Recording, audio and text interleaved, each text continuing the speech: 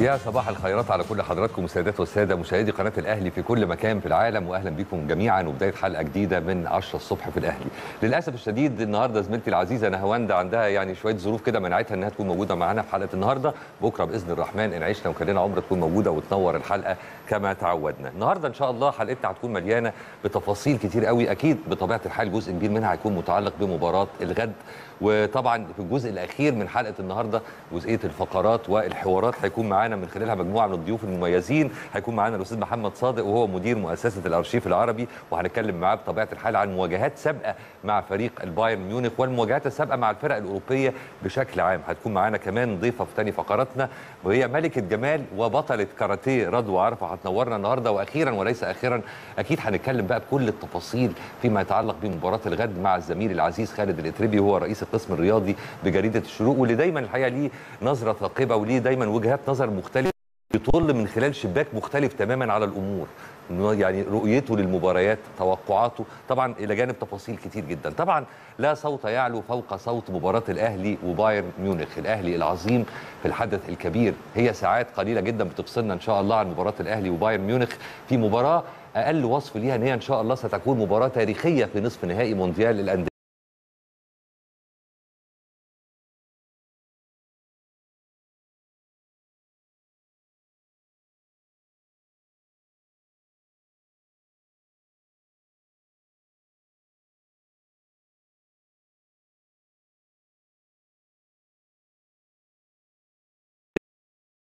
كله ما بيتكلم.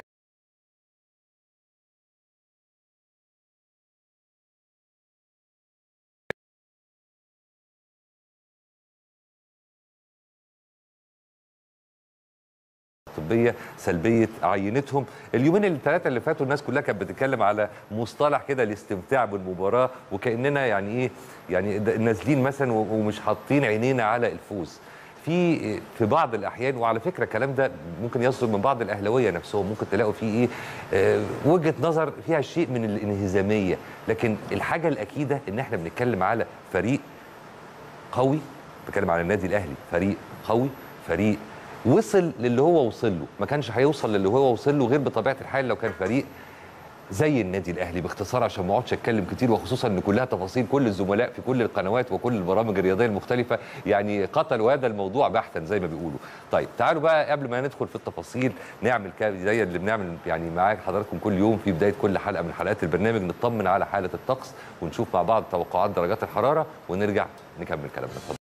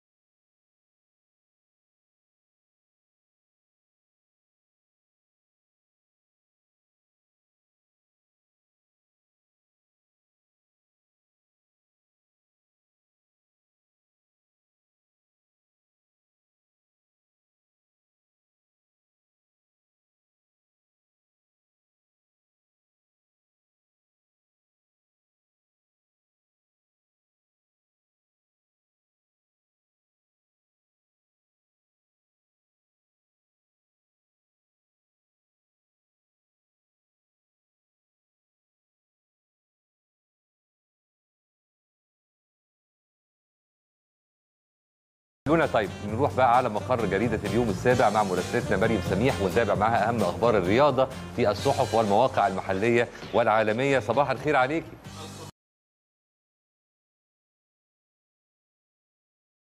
صباح الخير يا كريم وصباح الخير على كل مشاهدي قناة الأهلي في كل مكان. يعني طبعا زي ما أنت قلت في بداية الحلقة النهاردة إنه هيكون معانا جولة صحفية. وفعلا زي ما أنت قلت برضو يا كريم إن لا صوت يعلو فوق صوت مباراة الأهلي وبايرن ميونخ المقرر لها غد الاثنين في نصف نهائي كأس العالم للأندية. الصحف العالمية كلها اتكلمت يعني عن هذه المباراة وهذه المواجهة. آه كل الناس بتتكلم على إنه هو لقاء العمالقة. ولكن خلينا نستعرض بعض العناوين الهامة جدا التي جاءت في هذا الشأن من بي بي سي الأهلي يحدد موعدا مع بايرن ميونخ في كأس العالم للأندية. وكمان من ماركا الإسبانية الأهلي يلتقي مع بايرن ميونخ في كأس العالم للأندية. وكمان من واشنطن بوست بايرن ميونخ يواجه بطل أفريقيا في كأس العالم للأندية. كمان من كيكر الألمانية الأهلي يتحدى بايرن ميونخ في كأس العالم للأندية. وكمان من بيلد الألمانية الأهلي خصم بايرن ميونخ في مونديال الأندية في نصف نهائي كأس العالم للأندية. بايرن سيواجه بيكام وشريف. من موقع اليوم السابع خالد مرتجي هناك تشابه بين الأهلي والبايرن ونحفز لاعبينا لتكرار سيناريو 77 أكد خالد مرتجي عضو مجلس إدارة النادي الأهلي أن هناك تشابه كبير جدا ما بين يعني نادي الأهلي ونادي بايرن ميونخ من حيث الشعبية الكبيرة وكمان في تشابه لون القميص. كمان قال إن كابتن محمود الخطيب رئيس النادي يعني بيتحدث كثيرا مع لاعبي النادي الأهلي وبيحفزهم وكمان بيحاول 70 لما فاز الأهلي على بايرن ميونخ 2-1 وكان بكامل نجومه. كمان أضاف خالد مرتجي إن يعني شعبية النادي الأهلي بتؤدي إلى إن عدد كبير جدا من الأندية العالمية يعني بيتمنوا إن هم يتبادلوا الخبرات وكمان يعملوا نظام توأمة مع النادي وده اللي بيسعد جميع جماهير النادي الأهلي وكمان مجلس إدارة النادي الأهلي. كمان من خلال الخبر تقرر إن النادي الأهلي هيرتدي يرتدي زيه التقليدي المكون من القميص الأحمر في المباراة المقرر لها غد الاثنين بعد اعتباره صاحب الأرض على أن يرتدي فريق بايرن ميونخ القميص الأبيض والشورت الأبيض. كمان النادي الأهلي هيرتدي الشورت الأسود حتى لا يتعارض مع الزي الخاص بنادي بايرن ميونخ. من اليوم السابع أيضا. هولمان الأهلي قادر على الفوز شرط الدفاع وغلق المساحات أمام ليفا وساني كمان أكد يعني هولمان المدير الفني الأهلي السابق إنه سعيد جدا بمواجهة النادي الأهلي وبايرن ميونخ في نصف نهائي كأس العالم للأندية. شايف إن المباراة هتضيف كتير جدا وهيستفيد منها كتير جدا النادي الأهلي طبعا. ولكن قال إنه على النادي الأهلي أن يركز على الدفاع أمام ليفاندوفسكي وكمان ساني. وغلق المساحات امامهما ومحاولة تسجيل أي هدف. كمان أضاف هولمان إنه يجب أن يلعب الأهلي بقوة كبيرة جدا أمام الفريق البافاري وتابع ان هناك فوارق طبعا يعني لا تخفى عن أحد ولكن الأهلي قوي جدا مثل بايرن ميونخ وهجوم بايرن ميونخ قوي جدا. لذلك على الأهلي إن هو يركز ويغلق كل المساحات أمامهم واللعب كمان على الهجمات المرتدة التي يعني ستجني بثمارها خاصة مع تراجع ديفيد ألبا ومن الممكن وفي نسبة كبيرة جدا حاططها هولمن أن يحقق النادي الأهلي الفوز في مباراة غد.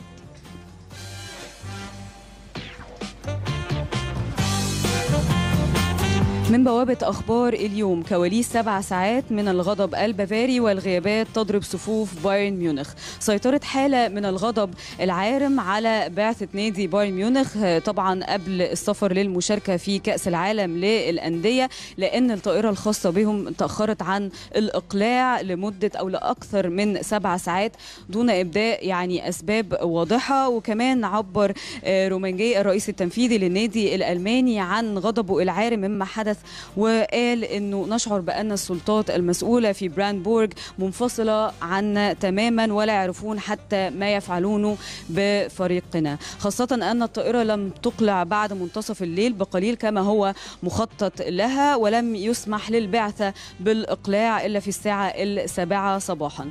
كمان أضاف التقرير إنه الغيابات يعني العديدة ضربت يعني بعثه بايرن ميونخ وفي كثير من اللاعبين لم يسافروا على آه، هذه الرحلة وده اللي ممكن إن هو يأثر بشكل كبير جدا على آه، يعني مباراة غد.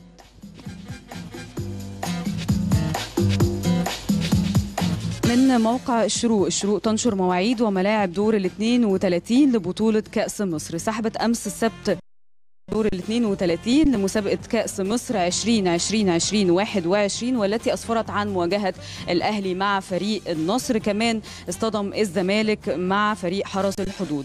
ولن يواجه الأهلي الزمالك إلا في حالة واحدة فقط هي حالة التأهل الناديين للمباراة النهائية من المسابقة. وأسفرت القرعة عن احتمالية إقامة مواجهة نارية مبكرة بين الأهلي وبيراميدز في ربع النهائي دور الثمانية. كمان حال نجح الفريقين في تجاوز دور ال 32 ودور ال 16 من المسابقة.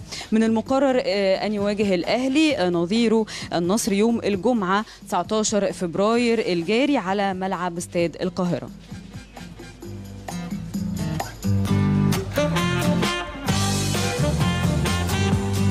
أخيرا عايزين نفكر مشاهدينا بمباريات اليوم أبرز مباريات اليوم في الدوري المصري وادي دجلة وغزل المحلة في تمام الساعة الثانية والنصف. ظهرا كمان الزمالك والاتحاد السكندري في تمام الساعة السابعة والنصف مساء. أما بالنسبة لمباريات الدوري الإنجليزي فتوتنهام وهوتسبير توتنهام هوتسبير وويست بروميتش في تمام الساعة الثانية ظهرا. كمان وولفرهامبتون وليستر سيتي في تمام الساعة الرابعة مساء كمان ليفربول ومانشستر سيتي في تمام الساعة السادسة والنصف مساء وأخيرا شيفيلد يونايتد وتشيلسي في تمام الساعة التاسعة وربع مساء دي كانت جولة من داخل مقر جريدة اليوم السابع. وطبعا اللي كانت كلها أخبار مهمة جدا وعناوين الصحف العالمية عن مباراة غد إن شاء الله. اللي إن شاء الله الأهلي يرفع فيها راسنا بإذن الله. اللهم آمين. إن شاء الله خير. بنشكرك شكرا جزيلا زميلتنا العزيزة مريم سميح. وزي ما حضراتكم تابعتوا كده طبعا كل الصحافة ومانشيتات الصحف العالمية لم تخلو بطبيعة الحال من عناوين متعلقة بمباراة الغد بين الأهلي وبين بايرن ميونخ. طبعا ماتش مهم جدا ومواجهة نارية جديدة سيسجلها تاريخ النادي الأهلي. أنا واحد من الناس الحقيقة يعني عندي إحساس كده والله أعلم إن إن شاء الله بكرة كلنا هنتفاجئ بإن النادي الأهلي بيلعب بأداء استثنائي. يعني يلعب من خلاله قدام بطل آه، أوروبا. طبعا دعوات ملايين المصريين. المفروض من الأهلاوية وغير الأهلاوية. أنا حضرات عن نفسي بنتمي لجيل على أيام يعني كان لما يكون في فريق مصري بيلعب في بطولة دولية بطولة عالمية. كلنا بندعي له وكلنا بنشجعه ايا كانت انتماءاتنا آه، الفردية عاملة إزاي. إحنا في الآخر بنفرح بأن مصر بتشارك بقوة في حدث عالمي. فريق مصري بغض النظر اسم الفريق إيه إحنا كنا زي دايما زمان نشجع فرقتنا المصرية ايا كانت إيه هي وايا كانت البطولة اللي بتتلعب فيها أو اللي هتلعب فيها وايا كان حتى المنافس هو مين. فأتوقع إن الكلام ده ينطبق على حالتنا بكرة بإذن الرحمن وملايين الدعوات من ملايين المصريين سواء اللي جوه مصر أو اللي بره مصر. بعد ما شكرنا زميلتنا العزيزة مريم سميح رجعت لنا ساله مرة تانية. هنروح على مقر النادي الأهلي في الجزيرة وزميلتنا العزيزة ساله حامد. ساله اتفضلي.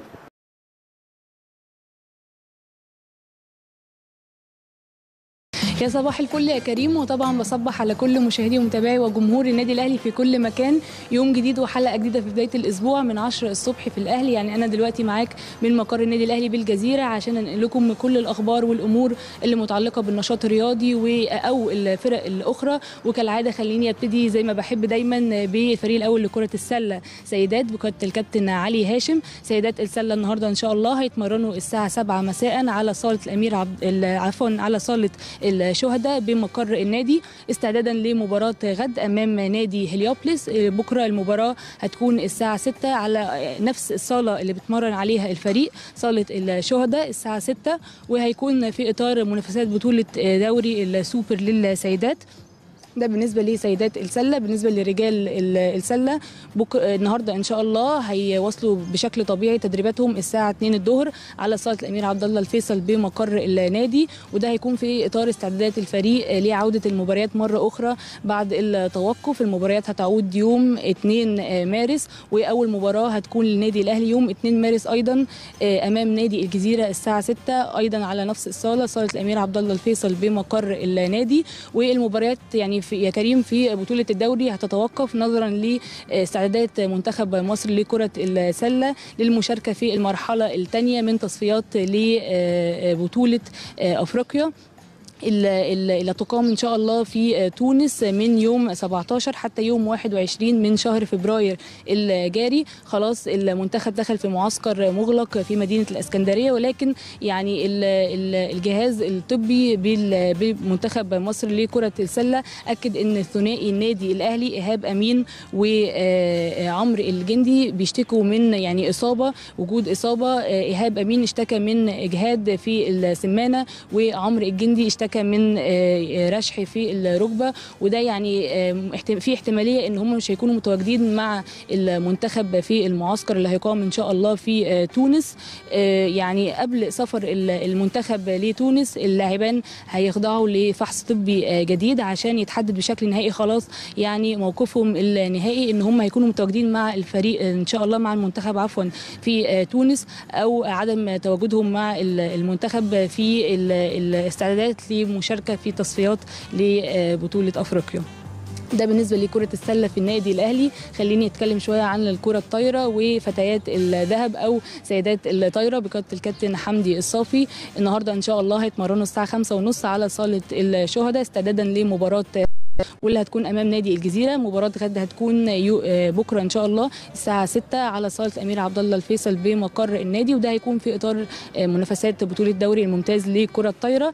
أما بالنسبة لرجال الطايرة آه، النهارده إن شاء الله هيتمرنوا من الساعة آه، 7 حتى الساعة آه، 10 ويعني رجال الطايرة هيستعدوا بشكل قوي جدا للفتره المقبلة واللي تشهد يعني مباريات في بطولة ال- الدوري بعد ما خلاص يعني الاتحاد المصري لكرة الطايرة. استقر خلاص على جدول المباريات. أول مباراة إن شاء الله هتكون للنادي الأهلي يوم الجمعة أمام نادي سموحة. مباراة قوية مباراة مهمة هتجمع ما بين الفريقين في الأدوار النهائية من بطولة الدوري العام لكرة الطايرة. المباراة هتكون يوم الجمعة الساعة 6 على صالة الأمير عبد الله الفيصل بمقر النادي. ويعني خلاص الفريق بيستعد بشكل قوي جدا الأيام المقبلة. النهاردة إن شاء الله هيتمرن بشكل طبيعي جدا.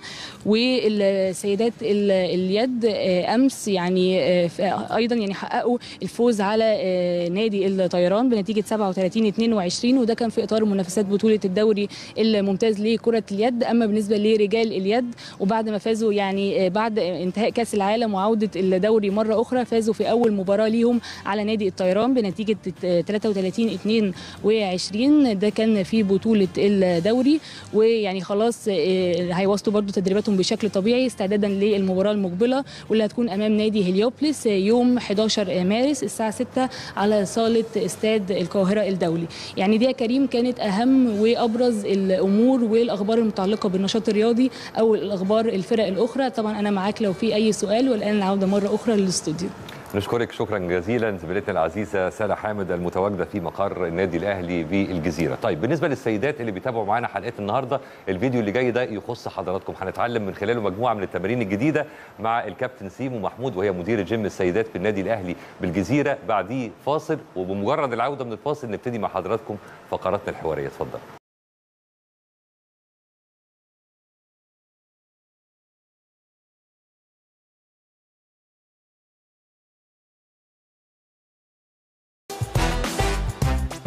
صباح الخير يا كريم صباح الخير يا نهوان صباح الخير على كل أعضاء النادي الأهلي ومشجعي ومحبي النادي الأهلي. النهارده هنعمل soft aerobics تمرينات سهلة نقدر نمارسها في البيت ويعني هنبدأ مع بعض على طول هو هيبقى بداية من ال warm up وندخل في ال exercise على طول. يلا هنبدأ march.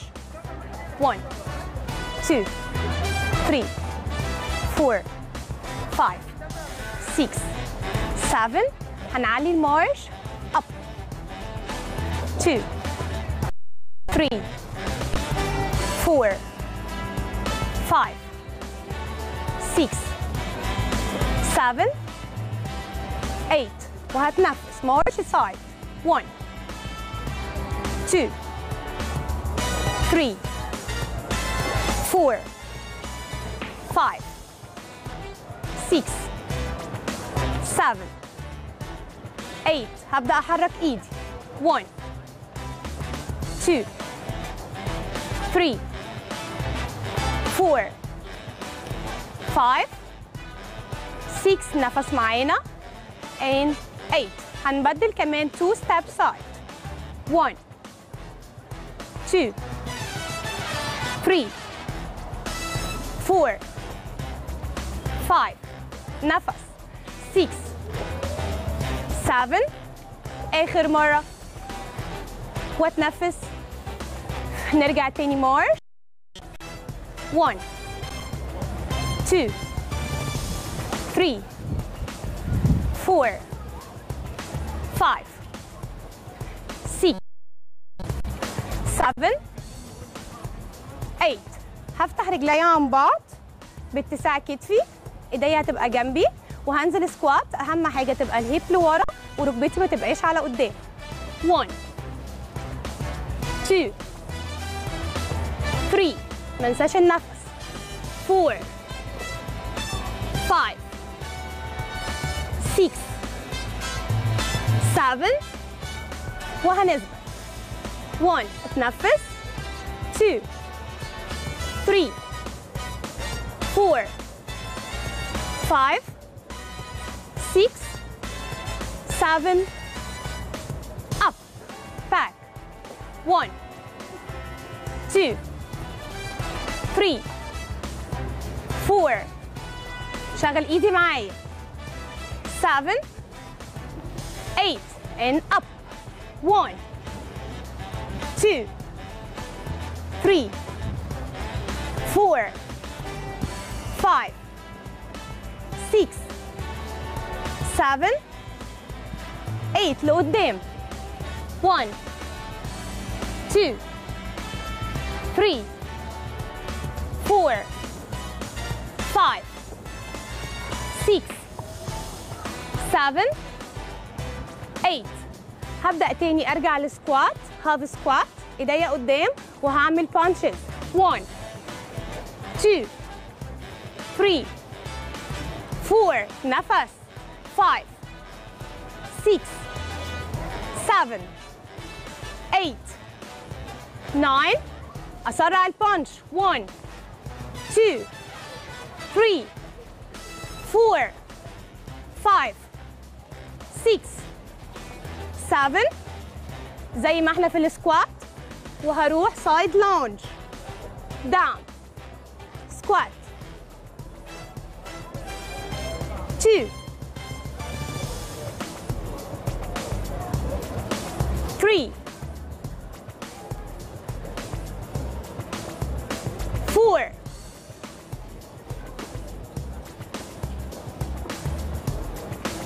5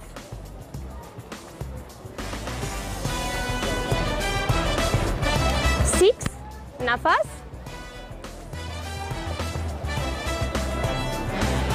7 آخر مرة مارش نفس أظبط نفسي تاني عشان أقدر أكمل 1 2 3 4 5 6 7 تمرين مهم قوي للكالف up. 2 3 4 5 6 7 8 9 10 هاخد نفس عميق. Again وهبدأ أميل على ال side وأبص على إيدي تجاه الزاوية بتاعتي. ال stretching مهم جدا بعد التمارين.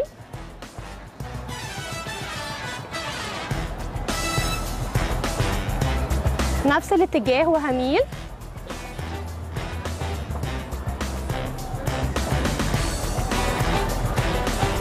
الزاوية بتاعتي.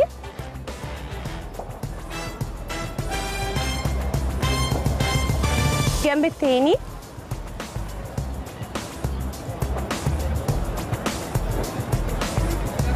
لتحت.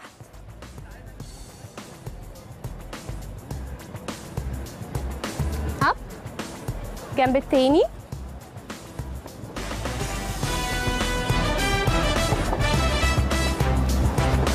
ايديا فوق نفس.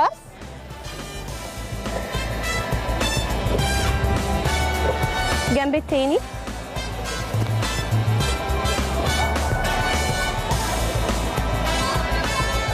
يلا نفس عميق. اجين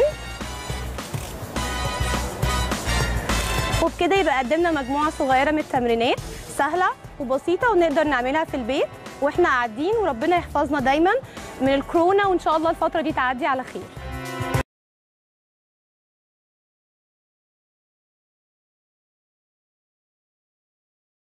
إحدى أهم البطلات المصريات في لعبة الكاراتيه وهي أيضا ملكة جمال الأناقة لعام 2020 هي رضوى عرفة لاعبة منتخب مصر للكاراتيه. مارست الكاراتيه في الرابعة من عمرها حبا في والدتها التي كانت لاعبة كاراتيه أيضا وشاركت في العديد من البطولات المحلية والدولية. تعرضت رضوى عرفة إلى صدمة قوية حين تم إيقافها من منظمة المنشطات أربع سنوات لإيجابية عينتها بسبب تناولها أحد الأطعمة المجمدة والتي تحتوي على مادة محظورة دون علمها.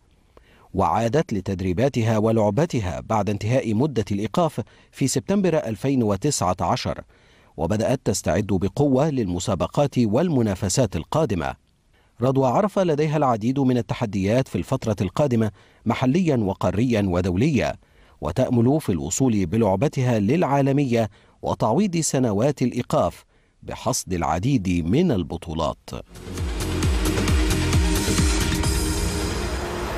يا أهلا بكل حضراتكم من جديد. طبعا اتعرفنا من خلال هذا التقرير وتأكدنا إن ضيفتنا صاحبة أول فقرة من فقراتنا الحوارية في حلقة النهارده رضوى عرفة بتجمع ما بين الجمال والأناقة والقوة. إحنا بنتكلم على بطلة رياضية ومش في أي رياضة بنتكلم على الكاراتيه ومش أي يعني لاعبة كاراتيه والسلام دي إحدى أبرز لاعبات منتخب مصر في الكاراتيه. ده كله إلى جانب حصول على لقب ملكه جمال الأناقة لعام 2020 رضوى صباح الفل عليكي أهلا بيكي وسهلا. أخبارك إيه؟ الحمد لله كله تمام. كله تمام. نبتدي من فين؟ من الأناقة ولا من القوة والكاراتيه؟ تحبي نبتدي من أنهي زاوية؟ يعني آه، أي حاجة. مش.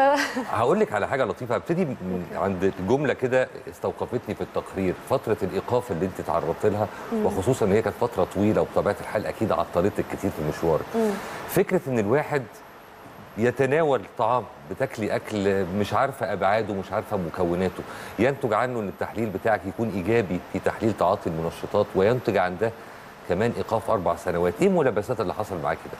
أنا كنت في 2015 كنت ثانوية عامة وفي نفس الوقت لسه تم 18 سنة.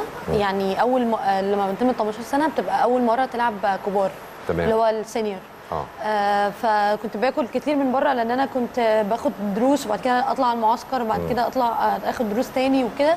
فكنت أكتر الوقت باكل من من بره البيت يعني ما كنتش ما كنتش باكل في البيت كتير. آه بس طبعا ما كنتش آه يعني كتير يعني باكل كتير من بره وناس كتير كانت بتاكل بره ما كنتش أعرف إنه ممكن تكون اللحمة المجمدة فيها نشاطات أو فيها ما يشابه هي كانت. وجبة لحم مجمد. آه كان ساندوتش هي هي يعني اللحمة المجمدة آه، فيها مادة اللي هي البرازيلي فيها مادة اسمها ريكتوبامين هي المادة دي اللي طلعت في العينة بتاعتي والمادة دي مش هي بس يعني مش هي المادة نفسها اللي في في الق- في القانون المنشطات هي ال- ال- لما بينزل القانون المنشطات بينزل الحاجات اللي هي منشطات كلها منها وما كمان. شابه. آه، أوكي. فهي المادة دي بتعمل نفس الحاجات اللي بتعملها المادة اللي مكتوبة. طب أنتوا لما بتكونوا بتلعبوا وتابعين الاتحاد وبطلات ومنتخب مصر وما إلى ذلك ما بيكونش من ضمن توجيهات ال- الفريق الطبي مثلا اللي معاكم في المنتخب إن خلي بالكم يا جماعة إن في أكلات معينة بيكون من ضمن المواد الحافظة اللي فيها مثلا مادة ما كذا كناش وكذا؟ بقى نعرف كده. أنا أنا أول حالة تطلع في مصر. يعني انت سندوتش واحد وقفك أربع سنين. أنا أنا أول حاجة في مصر وفي العالم عامة. يعني هو حتى يعني بعد كده آه. لجنة النشاطات آه، يعني أثبتت إن أنا فعلا ما, ما باخدش نشاطات وإن ده حاجة كانت غصب عني. وبعد كده بقى أي حد هيطلع مثلا عنده في ديت مش هياخد أربع سنين هياخد 8 شهور. أوكي. ان هو غصب عنه بس يعني هو كانوا كان أكثر قسوة في حالتك أنت. آه يعني أنا أنا أصلا بعديها ظهر حالة تانية محمد محسن لعب آه، ب- فولي في المنتخب. خد أربع سنين بالمثل زيي وبعد كده قدم الورق بقى وأثبت ده بالورق وكل حاجة خد 8 تمن شهور. رجع 8 شهور. طب تعالي بقى نبتدي لبدايتك مع الكاراتيه واختيارك للرياضة دي بصفة خاصة وخصوصا إن معظم ال- ال- البنوتات الصغيرين وأولياء أمورهم عادة ما بيوجهوا بناتهم في في مرحلة سنية مبكرة لرياضات مختلفة شوية. ممكن تلاقي جمباز ممكن تلاقي باليه. ممكن تلاقي آه، تنس. يعني في شوية حاجات كده سابقة شوية عن الكاراتيه لبنت. فده كان قرارك انت ولا كانت رؤية الوالد والوالدة؟ آه، أنا مامتي كانت وهي صغيرة بتلعب كاراتيه كانت بتحب الكاراتيه أوكي. وأنا عندي أختين أكبر مني فهم كانوا آه، يعني أول ما بدأوا بدأوا هم يلعبوا كاراتيه. فأنا كنت بروح مع أختي الكبيرة وحبيت قوي إن أنا ألعب يعني أنا بحب جدا إن أنا ألعب حتى ما بلعبش كاتا أنا بلعب كوميتيه اللي هو ال fight. okay. أنا بحب بحب قتال على طول يعني. آه فأول ما ما رحت معاها ولقيتها بتلعب وكده قررت إن أنا ألعب كاراتيه وأنا لسه صغيرة قوي كنت أربع سنين. بس أوكي. من ساعتها بقى وأنا بلعب يعني. وحبيتي ال- حبيت. اللعبة جدا آه هي مامتي كمان عشان فاهمة فيها فساعدتني أكتر إن أنا أوصل بسرعة يعني لا وبعدين لما كانش مستواك بقيتي واحدة من لاعبات منتخب مصر في الكاراتيه فبرضه أكيد رياضة مختلفة ومش سهلة وخصوصا إن أنت يعني بتلعبي في الشق القتالي اللي فيها مخاطر ال- ال- ال- ال- الكوميتيه إيه تحديدا؟ بص هو الكوميتيه هو إحنا الكاراتيه غير يعني في رياضات عنيفة بس هي عنيفة شوية يعني بتعور وكده okay. الكوميتيه فيه قانون آه، آه، يعني مش مش بي آه، يعني مثلا عندنا ال- الرجل أو الإيد أو كده بتبقى ليها مسافات معينة touch كده مش مش عنيفة قوي أوكي. آه، بس يعني بس أكيد لا يخلو الأمر برضه من آه، آه. ضربة بقى طايشة ممكن كده في ولا التمرين بقى أكتر الوقت بيبقى في التمرين. مثلا ضربة جامدة بتعور أكتر الحاجة بتعور هو البق حتى لو لابسة الرمل. الضربة على طول بتيجي في البق. الإصابات بقى اللي هي ال- الصعبة اللي هي زي الصليبي والحاجات دي هي صعبة يعني مش بتجيلنا كتير في في الكاراتيه عامة. بس إيه آه بالصدفة كده لو حد رفع رجله إحنا بنرفع رجل عالية. آه طبعا، لو حد طبعا. رفع رجله نطرها جامد أو وقع عليها بعد ما نزل نزل وقع عليها ممكن يجيله صليبي ممكن يجيله لوي في في المشط الرجل. يعني إصابات مش مش جامدة قوي يعني. okay. بس الإصابات الجامدة بتيجي بالصدفة مرة مرة الواحد بس في التمرين مثلا. ربنا يبعد عنك كل كل شر وكل إصابات. طب قولي لي أبرز البطولات اللي شاركتي فيها وال وال وال وال والمقابلة اللي عمرك ما تنسيها الماتش اللي فعلا ما يتنسيش في مشوارك. آه، أنا الحمد لله بطلة القاهرة وجمهورية من وأنا عندي 10 لحد 18 سنة. آه،. دخلت وأنا في 2011 دخلت آه، تصفيات منتخب وناشئين. وجبت أول ودخلت بقى لعبت إيطاليا. إيطاليا وجبت ثالث فيها دي كانت أول بطولة دولية ليا. بعد كده اسكتلندا أول بعد كده كأس العالم في اليونان جبت أول. كل ده ناشئين. وإسطنبول المفتوحة جبت أول. وشاركت في بطولة العالم بس ماليزيا بس ما ربنا ما وفقنيش. بعد كده 2012 جبت كأس عالم تاني أول. هايل و2013 جبت خامس عالم في إسبانيا جبت أول بحر متوسط. و2014 جبت أول دوره العاب أفريقية في بوتسوانا شباب. وأول تشيك فردي وجماعي. ما شاء الله عليك ما شاء الله. و21 يعني انت خلصتي المركز الأول في تلتين البطولات المتوفرة في عالم الكاراتيه. 2015 برضه كل ده كنت أول تصفيات منتخب طبعا يعني okay. لازم أجيب أول تصفيات وكل التصفيات اللي بنصفيها جوه لازم أول قبل كل بطولة لازم نسافر لازم نصفي قبلها. أوكي. فطبعا كل البطولات دي لازم قبل ما أسافر آه، أكسب في التصفية اللي قبلها. آه، 2015 جبت ثالث دوره الألعاب الأفريقية اللي هي كانت ثالث فردي وثالث جماعي.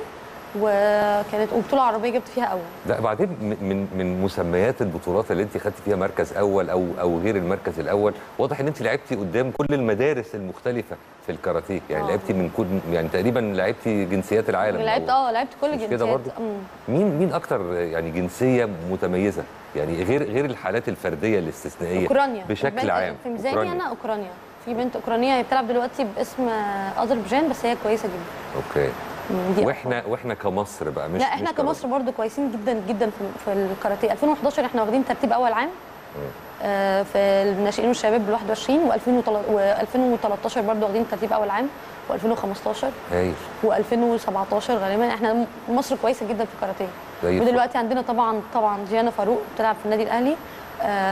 هي يعني أكتر ناس في من أكتر بنت في مصر وفي العرب وفي أفريقيا. هي أول بنت عربية أفريقية تتأهل الأولمبيكس هي اتأهلت على طول. يعني هي من الرانك بتاعها هي مؤهلة دلوقتي. يعني إن شاء الله إن شاء الله كمان تشرفنا ونجيب أول في والله أنت بت- بتقولي ده كله حاجة حاجة تفرح والله وتشرف فكرة إن إحنا نشوف نماذج مضيئة للفتاة المصرية الشابة ناجحة وبطلة عالمية طبعا دي حاجة تفرح كل المصريين أكيد. طيب من عالم الكاراتيه إلى عالم الأناقة ومسابقات الجمال وال runway والحاجات اللي زي كده إيه إيه النقلة دي حصلت إزاي؟ إيه ملابسات حصلت على اللقب ده؟ هي المشكلة النقلة دي حصلت في الأربع سنين أنا توقفت فيهم. يعني أنا okay. قبل قبل الأربع سنين كنت مركزة قوي في الدراسة وكنت لسه صغيرة برضو كنت مركزة قوي في الدراسة والتمرين بس. بعد كده لما توقفت ابتديت بقى ف... آه، أنا مهندس كمبيوتر.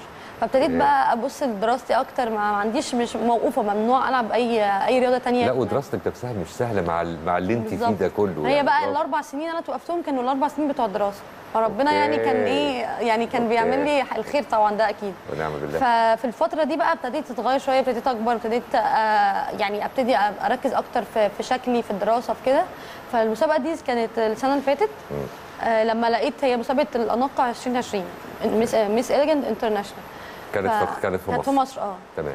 فقررت إن أنا أقدم فيها وقلت بقى يعني أقدم بس أنا كان عندي مبدأ يعني أنا مقدمة إنه آه، عايزة الناس تبقى ما عندهاش فكرة إنه البنت الرياضية رياضة عنيفة.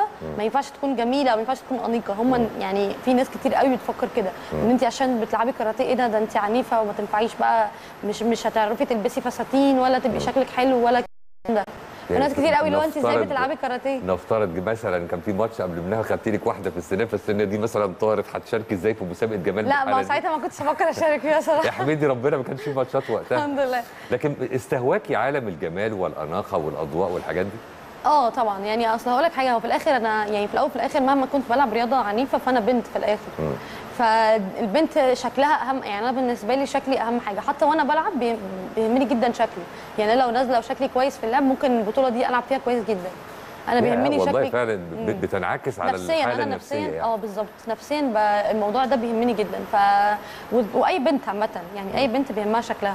فالفكرة المسابقة بتخليك آم، تركز أكتر بقى مع شكلك أنت الأضواء عليك أكتر آه، لازم تكوني أنيقة في لبسك أنيقة في تفكيرك هو مسابقات الجمال ما بتبقاش يعني ما بتبقاش بالشكل البس يعني ممكن آه، بنت ما. تكونش جميلة قوي والشخصية والأعمال الخيرية على فكرة وفي حاجات كتير بالظبط طبعا إحنا كل واحدة لازم ت... لازم يكون ليها عمل خيري يا إما آه، مشروع في السياحه أو أي حاجة أنت كان إيه مشروعك. في المسابقة اللي أنا كنت؟ آه، كنت حاطة برضو مدخلة ال- دراستي في آه أنا. أنا computer science فكنت آه، هعمل application اسمه EG EG يعني آه. EG abbreviation لإيجيبت يعني.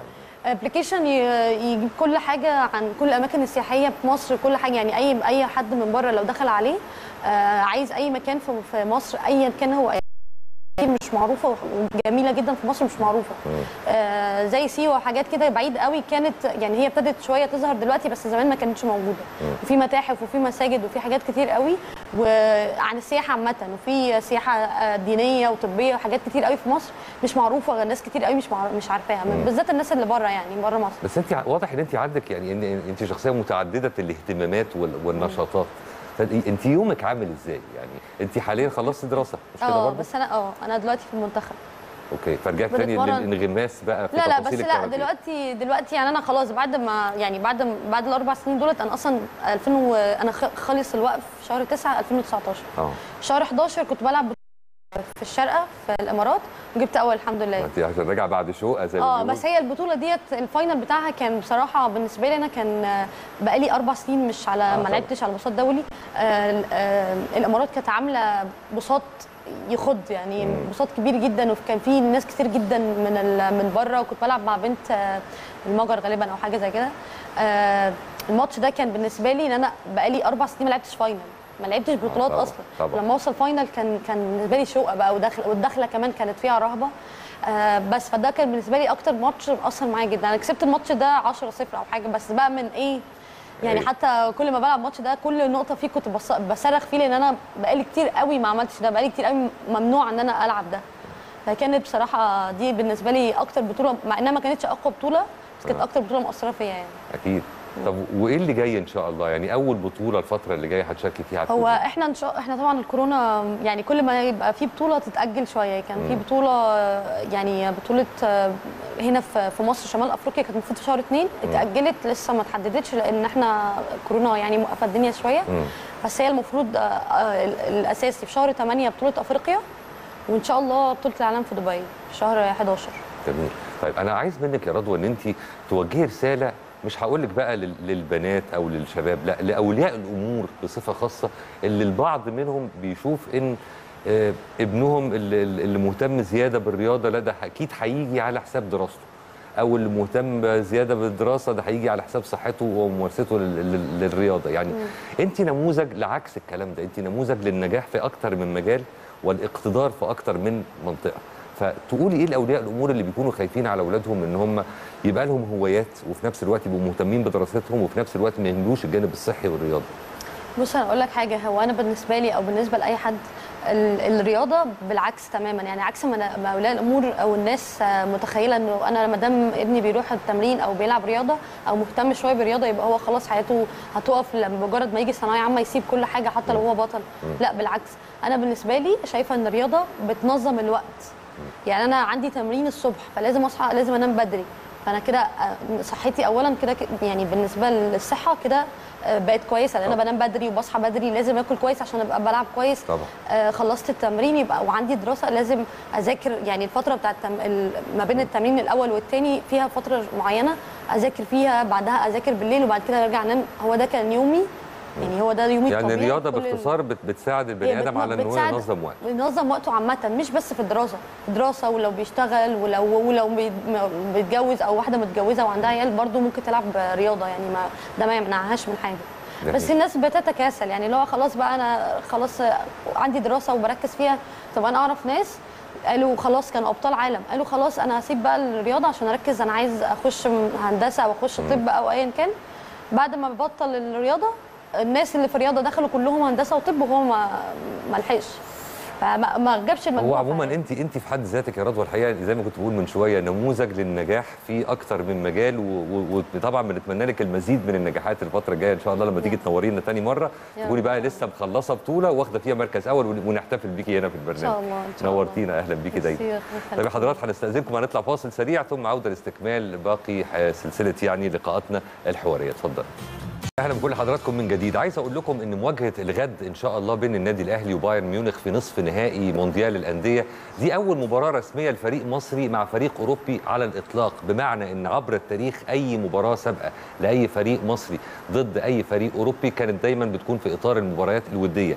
طبعا الأهلي عنده العديد من المباريات الودية مع الفرق الأوروبية المختلفة وكان ليه قبل كده مواجهتين مع البايرن ميونخ واحدة كانت سنة 77 والثانيه كانت سنة 2012 طبعا هنتكلم عن نوستالجيا الأهلي في المباريات مع الفرق الأوروبية. وطالما قلنا كلمة نوستالجيا يبقى مين أحسن حد في الدنيا يكلمنا عن تفاصيل النوستالجيا غير الأستاذ محمد صادق وهو مدير مؤسسة الأرشيف العربي. صباح الفل على حضرتك. صباح الخير يا أستاذ كريم. شكرا جدا للمقدمة الجميلة دي. ربنا يخليك. أنا أنا مجهز نفسي للاستمتاع بذكريات حلوة ربنا ولحظاتك التي لا تخلو من طرائف. ومواجهات الأهلي. تعالى نبتدي مع الأهلي وبايرن ميونخ. 77 و2012. إحنا برضو عايزين آه، بسم الله الرحمن الرحيم نقول مثلا إن اللقاءات الودية كبيرة جدا.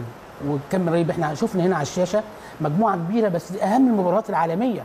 لكن ده في أكتر من 50 مباراة تانية. أو 55 أو 60 مباراة تانية تجمع بين الأهلي وفرق كبيرة عالمية كانت بتيجي برضو مصر. وبتعمل ماتشات حبية من العشرينات والثلاثينات والأربعينات والخمسينات لغاية دلوقتي في فرق. يتعرض دلوقتي بتاع حوالي 25 لقاء لكن ده في بتاع 50 60 لقاء إن شاء الله لما نجيبهم تاني الناس تشوفهم. القرن موجودين. لكن إحنا مش هنقول البدري بس عشان هو دلوقتي هو الحدث اليوم. لكن إحنا نقدر نقول إن من جايبين النهارده نبذة أو جايبين بعض ال- الظهور من جزيرة الورد كلها ها؟ إن في مثلا هنجيب بعد كده أول لقاء أنا شدني كان في 1958 وكان فرقة ألمانيا جاية مصر. أوكي المنتخب. منتخب جايين يلعبوا جايين يلعبوا ماتش ماتش وديه لعبوا مع مين؟ مع النادي الأهلي. حلو. النادي 1958 عمل مباراة وهنشوفها صورتين دلوقتي. مهمين جدا. الأهلي لعب منتخب ألمانيا على ملعب التتش الله. مش ع... كان لسه استاد القاهرة ما. فتحش. طبعا. لأن استاد القاهرة 60 آه. ها فالأهلي لعب وجابوا صورة جميلة هنشوفها دلوقتي من أصل صورتين. ها جايبين البرج ولسه في بداية بناه آه، شكرا شكرا أستاذ المخرج النصر الكبير. النصر الكبير. شوف هنا جايبين البرج أهو لسه بيتبني. ها وده الملعب. على المباراه وازاي هنا افراد الجيش وافراد الشعب وافراد البوليس واقفين بيحيوا اللعيبه. يعني برج الجزيرة كان قيد الإنشاء وقتها. آه لسه بيطلع 58 الله. في بدايته. حلو. والنصر الكبير. وفي صوره تانية هتيجي بعديها الكابتن الكبير آه، رفعت آه، الفناجيري آه، كابتن النادي الأهلي وابن وابن دمياط البار ها هو اللي جاب الجول من ضربة جزاء. وخلص الماتش 1-0 للنادي الأهلي. جميل. أنا حبيت أجيب دي سنه آه. 8 أهي شكرا. آه، دي ضربة الجزاء خلى الجون راح لحتة وهو جه في حتة تانية على يمينه اهو. 1-0 1958 وهنجيب بعديها كمان حاجة مهمة جدا ها؟ ودي بقى لما نيجي بنفيكا لما كسب النادي الأهلي ها؟ عايزين نقول إن الأهلي ما اتهزمش. الأهلي كسب الماتش ده 3 2 هو اللي فاز. آه الجميل بقى في 63 في 62 إن آه، الفريق البرتغالي بنفيكا ده كان بطل أوروبا. وجاي محتفي بطوله أوروبا وغالب مين؟ كان غالب ريال مدريد في النهائي. okay. وكان ريال مدريد ساعتها هو الفرقة الع- العظيمة اللي بتاخد أربع خمس بطولات ورا بعض في أوروبا. فهو غلب وجه على هنا آه، أشكرك. آه، هنا شوف بقى مين هنا. كابتن صالح سليم وكابتن آه، رفعت الفناجيل وشيخ طه ها وهنا لقطة حلوة حية من المباراة نفسها بنفيكا وده ده ده شريط فيديو نادر جدا. الله. إحنا كسبنا 3 2 ساعتها. آه، واللي جاب الاجوان بقى في حاجة جميلة برضو كانش في تعصب زي دلوقتي كان زمان مفيش تعصب. كان في اثنين ضيوف من أندية أخرى بيلعبوا مع النادي الأهلي كابتن. محمد بدوي من المصري والكابتن بدوي عبد الفتاح من الترسانة اللي جاب الجون. والجونين التانيين جابهم آه، الشيخ طه جاب جونين في الماتش دوت. شوفي أنا مبسوط جدا حاجة من- جميلة جدا. آه شوفي شوف هنا الفريق. ده سنة 62 إحنا بنتكلم من 60 سنة. بنفيكا بطل أوروبا جاي محتفي وجاي يعني جاي من أوروبا على مصر. بنشوة النصر بقى. بنشوة. طبعا. واختار النادي الأهلي بطل مصر انه يلعب معاه. أوكي. وماتش جميل ها؟ والعالم كله اتفرج عليه. والأهلي يكسب 3 2 وكان ساعتها مين؟ يعني بن- إحنا غلبنا ساعتها بنفيكا وغلبنا ريال مدريد. آه طبعا. بطبيعة الحال. آه طبعا. آه كان طبعا. كان ساعتها بقى النجم العبقري إيزيبيو ها؟ آه، اللي راح. كأس العالم 66 بعد كده. طبعا، فدي. مباراة جميلة والفيديو ده لا وحتى حتى ريال مدريد نفسه يعني كان لينا قبل كده مواجهة مع ريال مدريد ولينا قبل كده مواجهة مع برشلونة. ريال مدريد في 77 ها إحنا كسبنا 2-1 واللي جاب الجونين مين؟ الكابتن شيف عبد المنعم والكابتن الخطيب. الله. 2-1 وفي 2001 أظن كان لينا برضه 2001 لقاء آه, آه طبعا كان كابتن آه، بركات تقريبا.